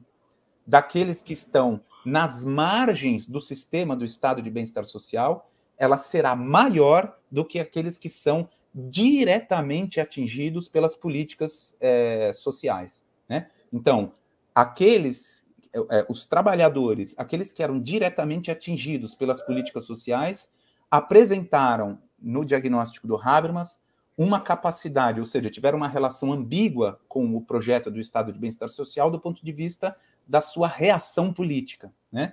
Eles, é, é, o efeito colateral da burocratização, do paternalismo, do clientelismo. Quando você, quando você não é mais trabalhador e passa a ser cliente, o Hamas disse que isso teve um efeito na capacidade da classe trabalhadora de lutar.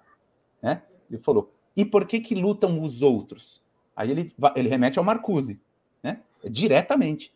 Ele remete ao Marcuse. Ele falou: Marcuse percebeu que essa energia foi para outros lugares. E a gente precisa entender por quê. Por que, que a energia de reagir e lutar, né, a revolta, ele fala em revolta, né?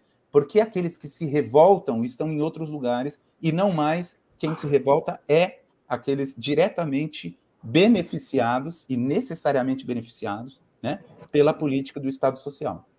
Então, esse efeito colateral, naquele momento, era fundamental para o Habermas avançar essa tese. Eu acho que essa tese, ela não se sustenta mais. Não sustenta mais. Essa tese é uma tese sobre a década de 70. Né? Década de 70, crise do estado de bem-estar social, o efeito dos novos movimentos sociais pós-68, né? e como a teoria crítica começou a incorporar os novos movimentos na sua visão é, política emancipatória. Então, de um lado, ele, ele não é tão otimista em relação a possibilidades transformadoras nesse sentido, né? É, inclusive, tem uma entrevista que pergunta para ele, assim, ah, mas você acha que vai acontecer, né? A revolução virá e... e quando você fala, mas ele falou, olha, o que vai acontecer, o que eu espero é que nunca deixemos de lutar.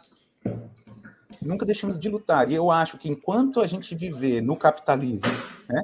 Num capitalismo que produz esse tipo de miséria e violência sobre as pessoas, enquanto a gente viver com essa ameaça né, sobre as formas de vida do ponto de vista de uma cultura política que não é suficiente democrática em várias partes do planeta, inclusive onde existem democracias, as pessoas vão continuar lutando. Por quê? Porque as ameaças não cedem. Né? Ele falou: a única coisa que eu espero é que, enquanto as ameaças existirem, ainda existam resistências. Né? Agora, a ideia de que a gente vai superar, que tudo vai se transformar e que isso é uma transformação global, mundial, o Ramos falou, não, do ponto de vista do diagnóstico, não tem nenhuma possibilidade disso acontecer. Nada indica, não tem nenhuma tendência de que há uma mudança é, global nesse sentido, que possa levar todas as formas de vida a serem respeitadas e a viverem com dignidade e solidariedade. Eu, falo, não vejo isso acontecer. Eu vejo que elas lutam, né? É, para que isso aconteça de um ponto de vista muito parcial, mas é necessário. Ninguém espera amanhã para lutar, né? Tem que ser agora. E mesmo, mesmo que isso não leve a uma mudança global. É, desculpa ter me alongado. É um tema que, enfim, me interessa muito, né? É, eu posso, eu posso passar para algumas perguntas, tudo bem? Ou, ou, ou, rapidamente, assim? Eu acho que parte de uma das perguntas, agora na resposta para para a Mari, eu acho que é, talvez eu tenha tocado nelas, é a pergunta do Juliano, Juliano Oliveira, né? Não sei se eu errei os nomes aqui, é, sobre essa ideia de que, enfim, faculdade de validade prescinde, né? De, de, de alguns conceitos, de alguns critérios, né? Ou categorias que eram mais comuns na, na tradição é, conceitos do Marx na tradição marxista? Eu acho que sim, eu acho que falta. Tem todo um debate do Habermas lá de trás sobre ideologia, que depois ele não retoma. Né? É, é, ah, olha só, puxa, tem aqui, né? Veio para a tela aqui para a gente, muito bom. É, a pergunta. É, crítica da economia política, então eu acho que todos esses conceitos, eu acho que a, a, o, o, o, projeto do Habermas de fazer uma crítica da modernidade é, no sentido mais amplo, ele já é, foi se desviando de alguns conceitos centrais da tradição marxista. Ele diz que nunca, se de, nunca deixou de ser marxista, que ele é, enfim, ele diz, eu sou o último marxista, até porque, enfim, continua achando que o sistema econômico domina a gente de tal maneira que muitas vezes, é, a, a, a, digamos, o, o, as consequências desse sistema é como se houvesse alguma coisa nos controlando, passando pelas nossas costas, né? Como se não tivéssemos consciência nem vontade diante do sistema político, é uma dominação que, que o sistema econômico, desculpa, é, desculpa né, é, produz. Mas, enfim, eu acho que falta sim, tem uma discussão, acho que bem interessante, de alguns autores mais recentes, é, e, e, alguns deles que procuram fazer uma, uma volta a Marx, é, pensando questões do Habermas, que eu acho que é decisivo, né? É, eu acho muito interessante, eu estou bem interessado também, até porque minha pesquisa foi justamente Marx e Habermas, né? O, o, o meu, meu doutorado, depois pós-doutorado, é, é, Vinícius é, Maia, né? Outra pergunta que eu peguei aqui rapidinho, é, aqui tem a ver com, com o Luhmann, né? E se o Luhmann, é, enfim, estaria correto? Olha, é, eu, eu acho que não, né? Eu acho que a leitura que o Luhmann faz do Hamas não é, não é boa. Embora eles tenham um debate fundamental, acho que um, um dos oponentes mais importantes e um daqueles contra os quais o Habermas se coloca de maneira mais agressiva é, em vários dos seus textos é o Luhmann, né? É, e o Luhmann, ele é assim, digamos, o Luhmann, ele é o resignado, né? É, do ponto de vista, assim, é, o Habermas diz que o Luhmann é como se é como se a, a, a tecnocracia é, e se o controle absoluto tivesse se realizado, né? E aí a gente vive uma sociedade sem pessoas, né? Claro que o Habermas exagera nessas críticas, mas veja, eu acho que é, tem uma posição do Luhmann ali na leitura que passa despercebido, que tem a ver com as especificidades de faculdade de validade. Né?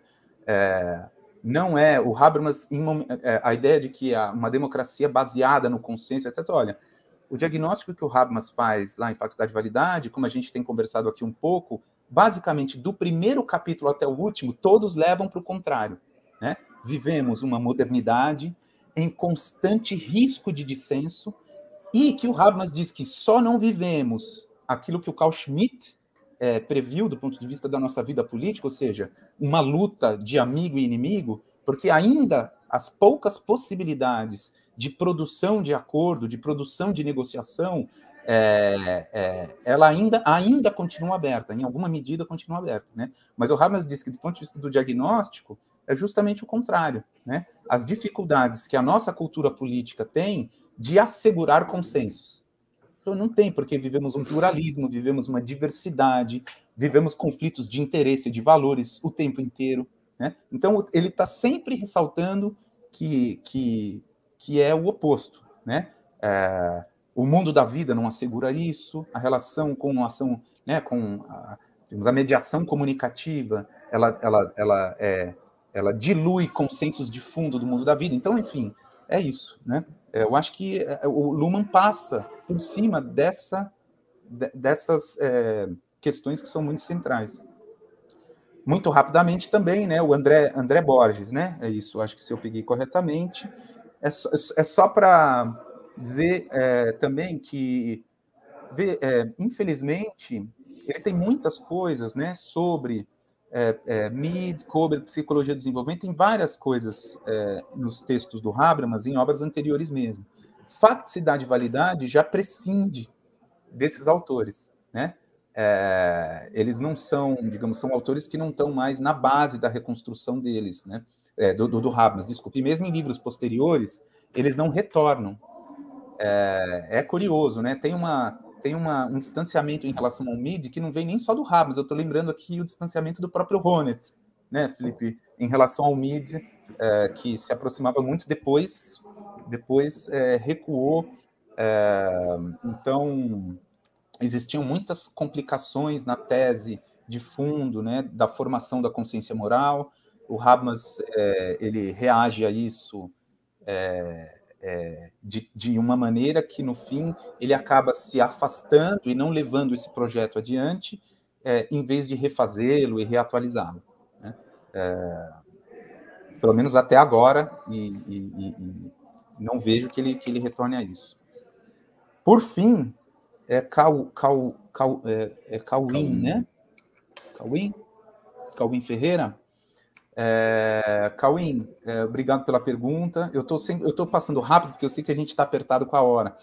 É, eu só quero insistir no seguinte, porque é muito boa a sua pergunta, abriria um outro flanco de discussão aqui, seria muito interessante. É, eu tenho um grupo de, de, pessoas que têm estudado há algum tempo, uma, a gente tem feito uma pesquisa sobre contrapúblicos já há alguns anos, a gente está estudando contrapúblicos feministas, é, contra públicos negros, contra públicos LGBT e é, contra públicos queer em especial e é, contra públicos de direita, é, com pesquisas não só teóricas, mas algumas pesquisas são empíricas. Uh, e aí a resposta que eu te dou é sim, né? Existe uma dimensão no conceito de esfera pública do Habermas, e é assim como eu leio, e aliás ele fala explicitamente que é heurístico, sim, está em facilidade de validade isso, né? Uma compreensão heurística de esfera pública que faz com que você não possa, é, de antemão, é, fazer com que aquilo que aparece, por isso que é heurístico, aquilo que surge e aparece na esfera pública e na dinâmica dela, que é sempre aberta, seja necessariamente conduzido por valores ou por orientações que nós consideramos democráticas. Então, é possível uma esfera pública antidemocrática? Sim, em várias, várias vezes, e, e, e muitas vezes é esse é o grande problema, né? Esferas públicas não democráticas que se apoderam da esfera pública como Habermas diz, a esfera pública é um poder dos mais importantes. Quem, quem, quem consegue a hegemonia cultural, social, política e econômica da esfera pública tem um poder sem igual, né? Então, as elites da política, as elites econômicas, o Habermas diz, eles conduzem a formação da, da, da opinião eles têm grandes é, é, conglomerados é, de TVs, de, de, de, de, eles têm a indústria cultural na mão, diz o Habermas, né? Ah, só que o Habermas diz, só que eles não estão sozinhos, né? A esfera pública também produz um, um processo que ele pega lá do Stuart Hall, que é um processo de recepção. Então, a dominação é, pretendida por aqueles que controlam a esfera pública, ela não tem como efeito necessariamente a submissão do receptor. Então, Rabas quer entender por que, que as pessoas, mesmo sendo submetidas a uma indústria cultural tão poderosa, não a seguem necessariamente, né? Buscam alternativas, tomam atitudes diferentes, contrárias, é, e assim formam opinião é, num outro sentido, mas que ela seja antidemocrática, é, isso ele não exclui em momento algum. Faculdade de validade tem uma compreensão mais sociológica de esfera pública. E ele ainda, e eu e digo mais, né? Ele, é, a versão final, é, ele está é, lá, né? Ela, ele não é um conceito normativo. A esfera pública tem implicações normativas, mas não é um conceito normativo, é um conceito sociológico. Gente, obrigado. São tantas questões, muitos temas bons. Uma, uma, reação bem rapidinho para passar a bola para Felipe, é só sobre a questão do legalismo. Não queria deixar de te perguntar. Eu, eu, li o teu artigo para além do legalismo, gostei bastante, né? Assim, e, e queria assim te ouvir também junto com as questões se é, o, o que é que muda desse debate recente também sobre o lugar é, do legalismo desde o debate de faticidade e validade, né? Porque minha impressão é que quando a gente pensar na década de 60, por exemplo, a luta dos direitos civis, você tinha uma luta por direitos que estava muito no sentido do, até do que Ronet fala, né? De consolidação de direitos, né? Então, enfim, quando a gente consolida né, é, é, a igualdade do voto, enfim, as sufragistas, ou Lei Maria da Penha, você tem propriamente direitos consolidados. Quando a gente vê esses exemplos como justiça para Miguel, por exemplo, aqui no caso que teve no Recife, né, ou justiça para Mari, Marielle, né, você tem ali uma, um, um, tipo de reivindicação que me parece que não é apenas a consolidação do direito, é uma consolidação de práticas de justiça, né, ligadas a formas que muitas vezes, até mesmo nas instituições da justiça, são injustas, né, assim, de que é, pensar talvez outras formas de procedimento, talvez apontando aí, né, por exemplo, justiça restaurativa é uma forma de revisão, de algum modo, do procedimento, mas que está lidando para dizer, olha, há algo ali dentro né, da forma como as instituições de justiça se consolidaram, que reproduzem práticas que são muitas vezes racistas ou misóginas, né? E aí parece que a luta é, é, é por um outro sentido, né? Que, que, que imbrica um pouco a questão do legalismo e a tensão de uma, de uma democracia radical, né? Não sei, eu queria te ouvir um pouquinho sobre isso também, que é ligado a uma questão que a Luciana colocou, outras também, mas só para fazer esse comentário final, para passar a bola. Antes, só deixa eu só, é, é, antes, só rapidinho, só me desculpar é, com aqueles é, que fizeram perguntas, mas eu não respondi. Eu sei que o Felipe vai responder é, aquelas que eu deixei de, de responder, com certeza. E, eu, e aí, claro, né, eu vi que a Luciana fez a Luciana Reis fez pergunta aqui também, nossa querida amiga. Só dizer que, infelizmente, não, não dá Eu estou chocado como o tempo voou, gente. Assim, duas horas e a gente. Impressionante. Mas vamos lá, 10, 15 minutinhos a gente fecha. Legal. Tá bom. É, ótimas as questões. Olha, eu vou tentar passar por elas muito esquematicamente, assim, responder. É, vou tentar, né? É, ser rápido e levantar a bola, né? muito mais do que ser conclusivo em qualquer uma delas. É, né, então, a primeira do André Borges, o Hurão já, é, já deu um trato né, na, na, na, pergunta, já, já respondeu, eu vou muito no caminho dele, uh, perguntando sobre o desaparecimento da psicologia moral, né, da Kohlberg, mídia, infacticidade e validade. É, é, se a gente ler o discurso no capítulo 3, é, ele está pressupondo ali né, é, uma moral pós-convencional, a gente pode, de certo modo, admitir que, de algum modo, ainda está presente na obra, ainda ainda está funcionando ali, mas, no entanto, ela perde centralidade. Né? É, se a gente se perguntar não apenas se está lá ou não está, mas se perguntar por que, afinal de contas, isso sai né, do, do centro, sai do eixo explicativo, sai do eixo do, do argumento central da obra, uh, eu acho que a gente encontra uma resposta justamente, algo que o Huron uh, tocou, uh, o, próprio fato de que a, a, moral deixa de ser um fundamento de legitimidade para o direito, né? para o Estado, para a democracia, etc. E quando isso acontece, o processo de aprendizagem que mais interessa ao Habermas deixa de ser um processo de aprendizagem estritamente moral, né? É um processo de aprendizagem que envolve componentes morais, podem envolver argumentos morais, questionamentos morais, mas também éticos, pragmáticos, negociações. Então, a moral perde a centralidade que possuía na ética do discurso, e, uh, desse modo, uh, Embora não seja, eu não considero que uh, as considerações dele a respeito da moral pós-convencional, por exemplo, né, que ele extrai a partir das leituras que faz do, do e do Mead, sejam completamente uh, uh, ausentes ou, ou, ou, ou incompatíveis com a obra, eu acho que de algum modo permeiam ela, mas não é mais o fio condutor, né? E, e sobretudo, não dá mais o, o, o, padrão normativo, o critério elementar a partir do qual a gente avalia a legitimidade do Estado Democrático de Direito. Então, eu tenderia a ir um pouco para esse lado. Acharia interessante que, que, que esse tipo de investigação do Habermas sobre processos de subjetivação fossem redirecionados ao processo político democrático. Né? Então, nós pensássemos, por exemplo, como se dá a, a, a, a subjetivação quando se pensa em cidadania.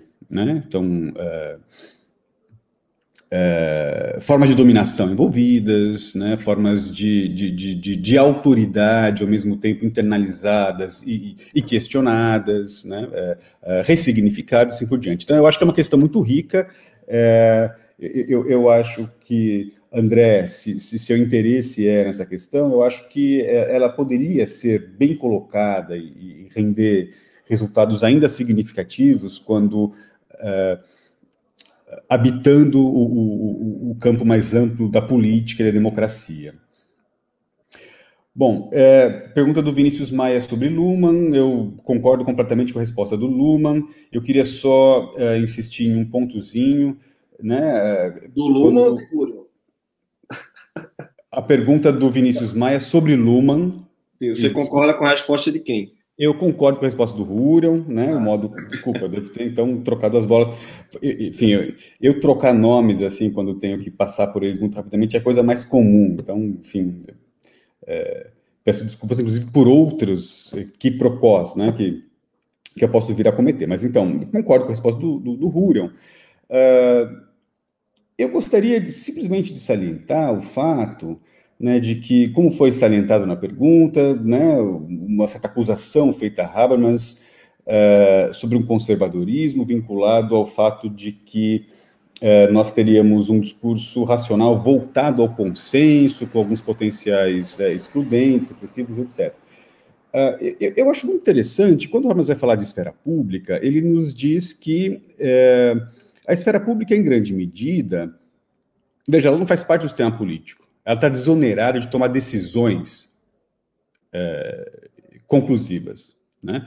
É, quer dizer, ali o que vale, de fato, é o questionamento, né? é a argumentação, é a suspensão né? de, de, de verdades pressupostas e assim por diante. Quer dizer, o, o consenso, o, o dissenso ali é muito mais importante. E o dissenso tem de ser assegurado no Estado democrático de direito, as liberdades individuais, uma das funções dela, um, uma, um, um, uma das bases de justificação das liberdades sociais é justamente a possibilidade de manutenção do dissenso, e aí uma crítica ininterrupta que se faz de maneira intramundana e assim por diante.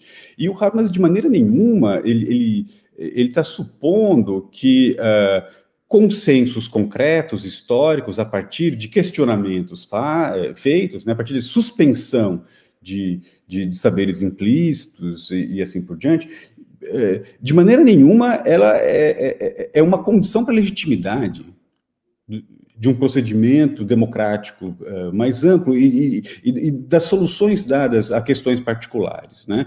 Uh, é, é importante, sim, para o Habermas, que, de certo modo, a, a, a, expectativa do consenso estruture a comunicação, porque é só assim que a troca de argumentos acontece, é só assim que a possibilidade, que, que o questionamento né, e a obrigação de, de, de, de, de refazer, né, de, uh, de reafirmar pretensões de validade uh, problematizadas, ela.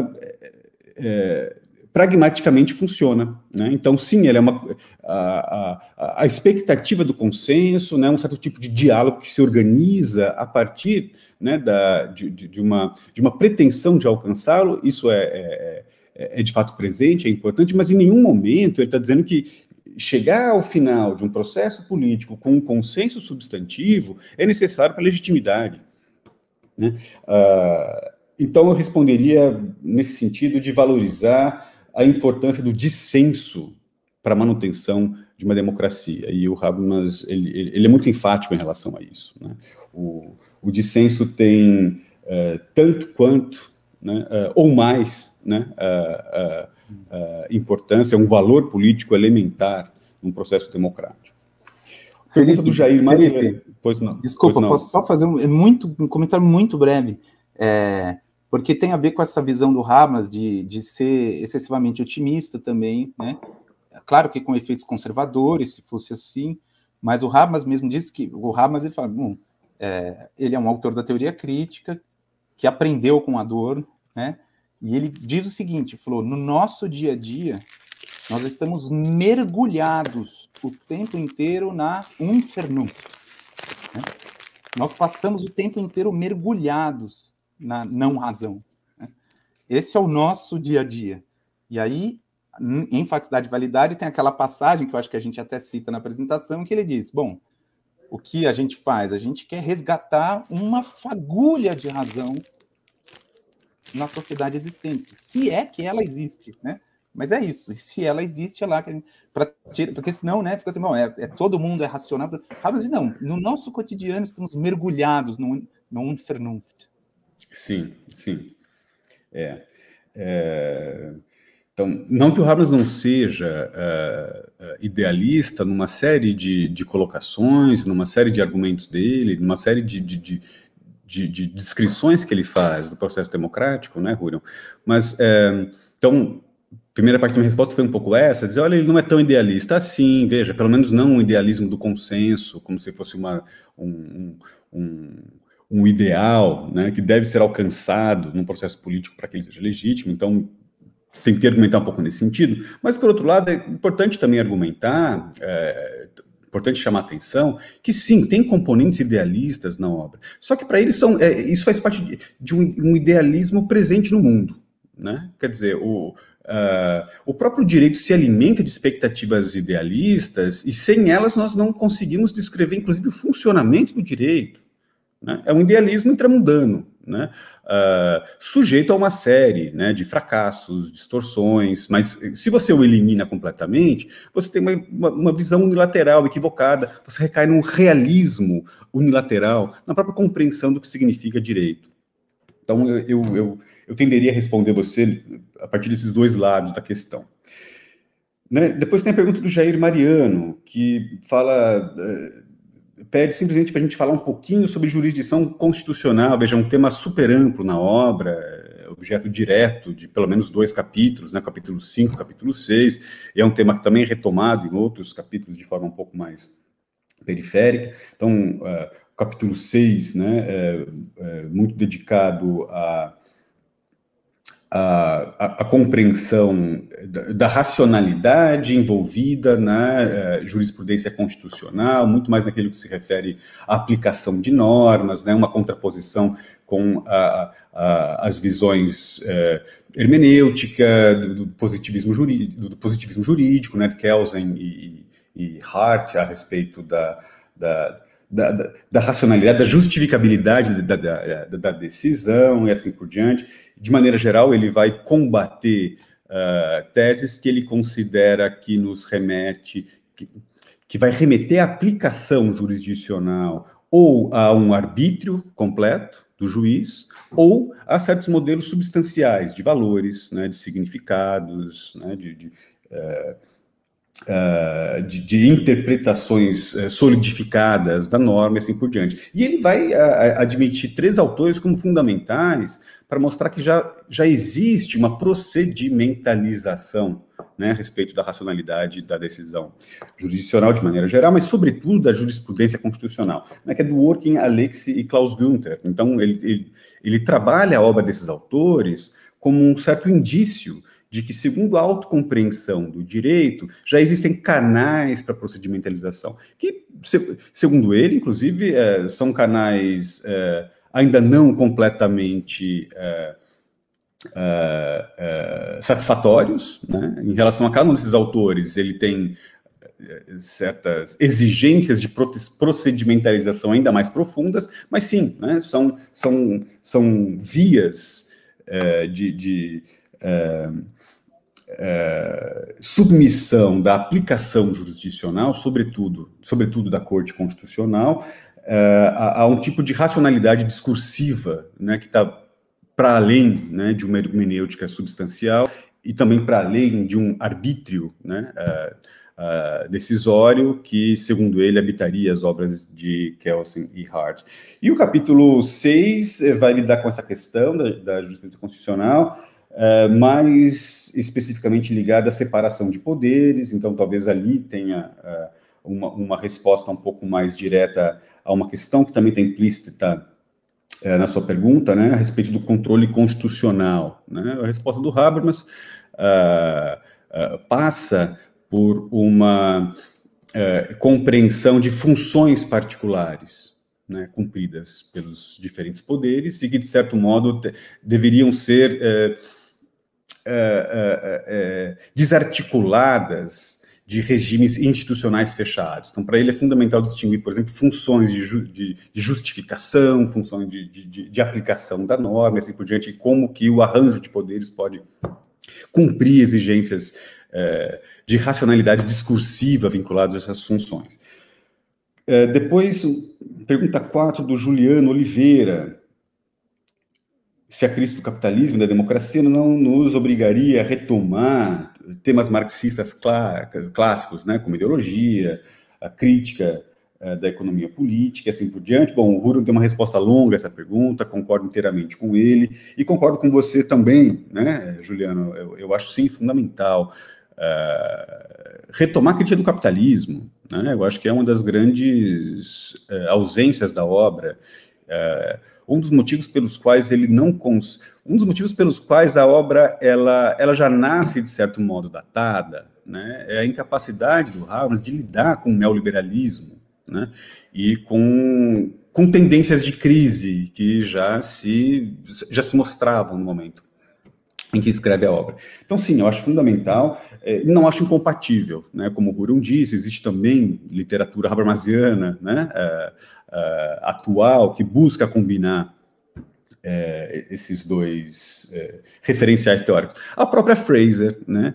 A, a, a Yeg passa o livro todo, né? No livro debate sobre capitalismo, acusando a Fraser de ser habermasiana. E ela diz é, não mas sim, sim e não. Né? Então, a própria Fraser é uma autora que está articulando né, Habermas com uh, o que ela mesma chama né, de, de, um, de um, certo modelo uh, neomarxista. Né? Uh, mas sim, acho que é fundamental retomar a crítica do capitalismo e, e acho muito importante retomá-la à luz de uma reflexão democrática profunda, né? à luz de uma concepção de democracia radical e assim por diante. Ou seja, que tipo de uh, é, expectativas radical-democráticas, né? ou mesmo que, que, tipo de expectativas de um socialismo democrático né? uh, uh, devem estar presentes numa crítica do capitalismo hoje? Eu acho que são perguntas importantes a serem feitas. Pergunta simples sobre esfera pública antidemocrática, também gosto muito da resposta do Huron, eu acho que sim, é possível. O, Harman, sobretudo, uh, lança mão desse exemplo. Ele fala de uma certa comunhão entre o poder social de organizações privadas, né, com uh, grande potencial publicitário, né, uh, com mídia de massa, que tende a, a, a, a gerar monopólios sobre o conhecimento. E se comporta, esse conglomerado, né, ele se comporta Uh, como se fosse um fórum de discussão pública, é, é, mas se comporta a partir de estruturas comunicativas que mais se assemelham à privacidade, a um certo tipo de privatização né, da, da, da, elaboração da informação, né, do convencimento público, mas que não se faz é, suficientemente transparente, né, não se faz suficientemente poroso, participativo, uh, não admite plenamente a contestação, né, que a gente está falando agora há pouco, e assim por diante. Não é possível uma, uma esfera pública antidemocrática? Sim, né, a, categoria de esfera pública no Harvard, mas ela é, é, tem esse potencial, né, uh, explanatório, heurístico e assim por diante. Mas eu acho fundamental nós termos uma teoria democrática, ou, ou um pensamento democrático vinculado a esse tipo de, de, de, questão, a esse tipo de diagnóstico de uma esfera pública antidemocrática, porque, afinal de contas, como identificá-la? Como dizer que um contrapúblico uh, da nova direita, ele é antidemocrático ou não? Né? A partir de que critérios? A partir de quais características deles? Né? É excludente ou não é? É reificante? Não é? Né? Uh, quer dizer, uh, demonstra aquilo que supõe como verdade, aquilo que, né, que, que, que, que espalha como informação e assim por diante. Então, é possível esse pluralismo democrático? Sim, é possível, mas é, é, é fundamental um certo tipo de reflexão orientado por categorias normativas, sem as quais a gente não consegue dizer que é antidemocrático. Né? Então, também é simplesmente uma, um encaminhamento né, de, de, uma resposta futura, muito mais do que é, é uma resposta conclusiva. Depois a pergunta da, da Luciana Reis, né, é, que é interessante, se é que eu entendi a pergunta, a Luciana ela nos é, questiona sobre a possibilidade do próprio direito permitir no seu interior é, isso que a gente está chamando aqui de um momento anárquico, né? ou aquilo que o próprio Habermas né, vislumbra é, como um, um, momento anárquico do processo político. Eu acho que sim, é, e acho que é fundamental.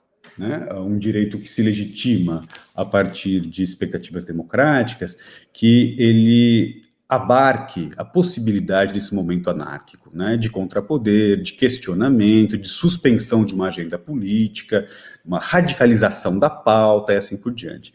Uh, no entanto, eu diria que, uh, mesmo assim, né, mesmo sendo possível a gente dizer que uh, o próprio direito pode, possa atribuir algumas proteções, alguns lugares institucionais, né, que, que, que ou, ou, pelo menos autorização de práticas que nos remetam a um tal momento anárquico, o direito não consegue plenamente garantir a sua explosão. Né? O, o, direito não, o direito não oferece plenamente a gramática a partir da qual esse momento anárquico ele se desenrola. Né? Quer dizer, a própria noção de esfera pública, então, tocando um pouco na questão do, do, do Felipe, né, sobre antilegalismo, quer dizer, a, própria noção de esfera pública é uma categoria antilegalista estrita, né? porque, veja, é, é uma categoria que é, será considerada fundamental para se explicar a legitimidade do direito, mas, no entanto, não é uma categoria que, que se explica a partir do direito, ou seja, é, algo que não consegue ser plenamente abarcado pela própria estrutura jurídica é fundamental para a garantia da sua legitimação. Em vários outros pontos da obra, a gente tem componentes de, de, de, de um certo tipo de reflexão que eu chamaria de antilegalismo. Uh, nesse ponto particular, né, que, que tentava responder a, a pergunta da, da Luciana, uh, as duas questões, de certo modo, se conectam. Quer dizer, o, o direito, ele precisa contar com fontes de legitimidade que ele próprio não produz. O direito é capaz de garantir algum espaço para o momento anárquico, né, é, é, contraventor, é, questionador, de suspensão né, da, da, aceitação de normas, pode sim, né, mas o próprio direito não garante a fonte né, dessas próprias práticas sociais. Não sei se eu fui minimamente no ponto das, das questões, mas é, é um, uma forma mais imediata né, que eu encontrei de, de, de, de interagir com a pergunta de vocês. E, e, depois a questão que a Mariana nos coloca, né, sobre a diferença entre movimento operário e movimento feminista. Sim, quando o Hamas elege o movimento feminista como um caso paradigmático para se pensar a atuação dos movimentos sociais no, no, processo político, se isso já não estaria excluindo né, movimentos operários, uh, portadores de um caráter e de expectativas mais radicais e assim por diante. Uh, eu acho que sim, não é à toa que o Hamas está trabalhando com o feminismo ali. O feminismo é um, é um movimento social que, que, trabalha como nenhum outro, segundo ele, pelo menos no momento em que escreve, essa articulação de sociedade civil e Estado. Veja, o feminismo nunca se tornou partido político. Né? Ele nunca reivindicou fundar um partido, né? de fato, uh, uh, invadir o Estado, né? e, e assim por diante. O, o feminismo ele está trabalhando, segundo Habermas, nessa uh, interconexão, nessa mediação sociedade civil e Estado, e é fundamental que faça uh, desse modo. O Habermas, ele, é, não exclui completamente o movimento operário, não exclui completamente demandas mais radicais vinculadas né, ao trabalhismo, vinculadas a, a, a a questões vinculadas à alienação do trabalho, assim por diante. Inclusive, no capítulo sobre esfera pública, ele vai nos dizer, numa nota, que o movimento operário e o movimento feminista foram fundamentais para romper barreiras da esfera, esfera pública e, portanto, para consolidá-la.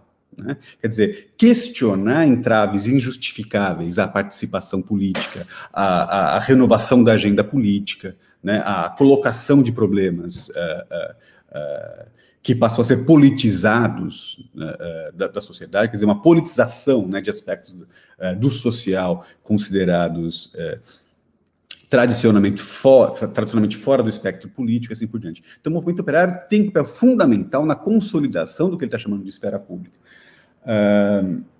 o problema para o Habermas é quando o movimento operário, e a pergunta da Mariana também tinha um pouco essa essa tessitura, é, quando ela vem acompanhada de uma forma de vida concreta, né, quando vem acompanhada de uma eticidade própria, com, quando vem acompanhada de um certo tipo de ideal de sociedade que busca ser é, é, é realizado via política. Né? Uh, eu sei que essa não é uma, uma interpretação de Marx ou mesmo da história do movimento operário que que não seja em controvérsia, mas o, é, o Hurion pode, inclusive, é, é, é, ressaltar esse ponto né, com muito mais conhecimento do que eu, mas o grande problema que o Hamas dirige a, a, a, as concepções tradicionalistas né, de socialismo é justamente essa pretensão de impor uma forma de vida concreta. E com isso, ela não estaria sendo mais radical do ponto de vista da democracia, estaria sendo menos radical. Uh, e é por isso né, uh, que, uh, entre outras coisas, o movimento feminista cumpre melhor esse papel né, de articulação sociedade civil e Estado, sem uma pretensão de, de, de, de tomar o controle do Estado, mas exigir né, que o Estado incorpore e, e, e, e de certo modo, é, se justifique né, é, é, à luz da, da, das pautas, da autocompreensão, das transformações da, da, da, compreensão de sociedade veiculadas por esses movimentos.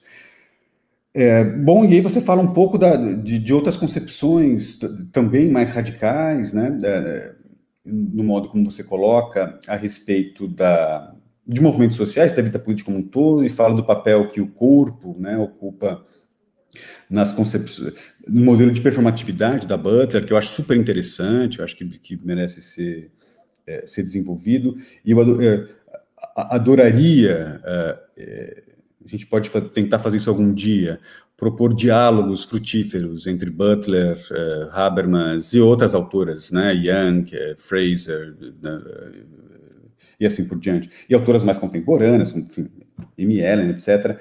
Mas é, o que eu queria colocar aqui é que eu gosto muito de um, de um, de um, de um textozinho do Waltzer, que eu acho que pode iluminar um pouco essa questão. Né? Um texto chamado Deliberação e o que mais?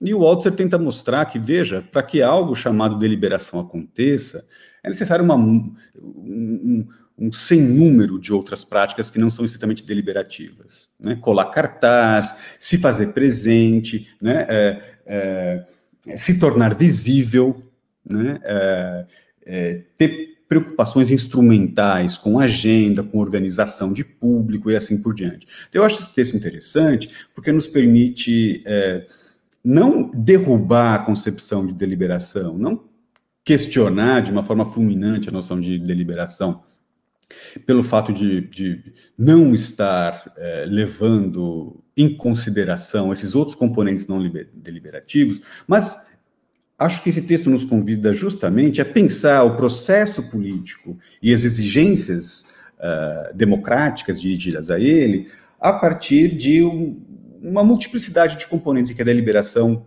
possui, sim, né, um lugar importante, mas sem sombra de dúvidas, né? ela, ela não ocupa sozinho a esfera pública, não ocupa sozinho o espaço público, né, e assim por diante. Uh, e a performatividade uh, dos corpos, uh, entre outras, é um elemento fundamental. o episódio que o Felipe chama atenção, né, sobre o fogo na estrada do Borba Gato, para mim tem um pouco essa conotação, né, é um... É, quer dizer, é um ato que pode fazer parte de um processo de aprendizagem democraticamente vinculado. O, próprio, o, o Selicartes, ele tem que trabalhar na noção de, de, de, modelo de democrático deliberativo, né, a partir do Habermas, mas também é, inserindo certos componentes que, em princípio, não são explicitamente admitidos pelo autor, né, mas que, segundo ele, não seriam incompatíveis, como, por exemplo, práticas violentas. A própria noção de desobediência civil, ela não tem que se pautar em um, um, uma exigência normativa muito estrita de não violência, porque em certos momentos a violência acontece, ela eclode. Né? Uh, é fundamental analisar os contextos, analisar qual foi a, a, a gênese né, da eclosão violenta e assim por diante, e, e e, no mínimo, né, buscar uh, escutar como os próprios agentes concernidos uh, Uh, interpretam, simbolizam e justificam atos de violência. Então, até mesmo a violência pode ser um componente significativo de processos deliberativos de formação da opinião e da vontade. Né?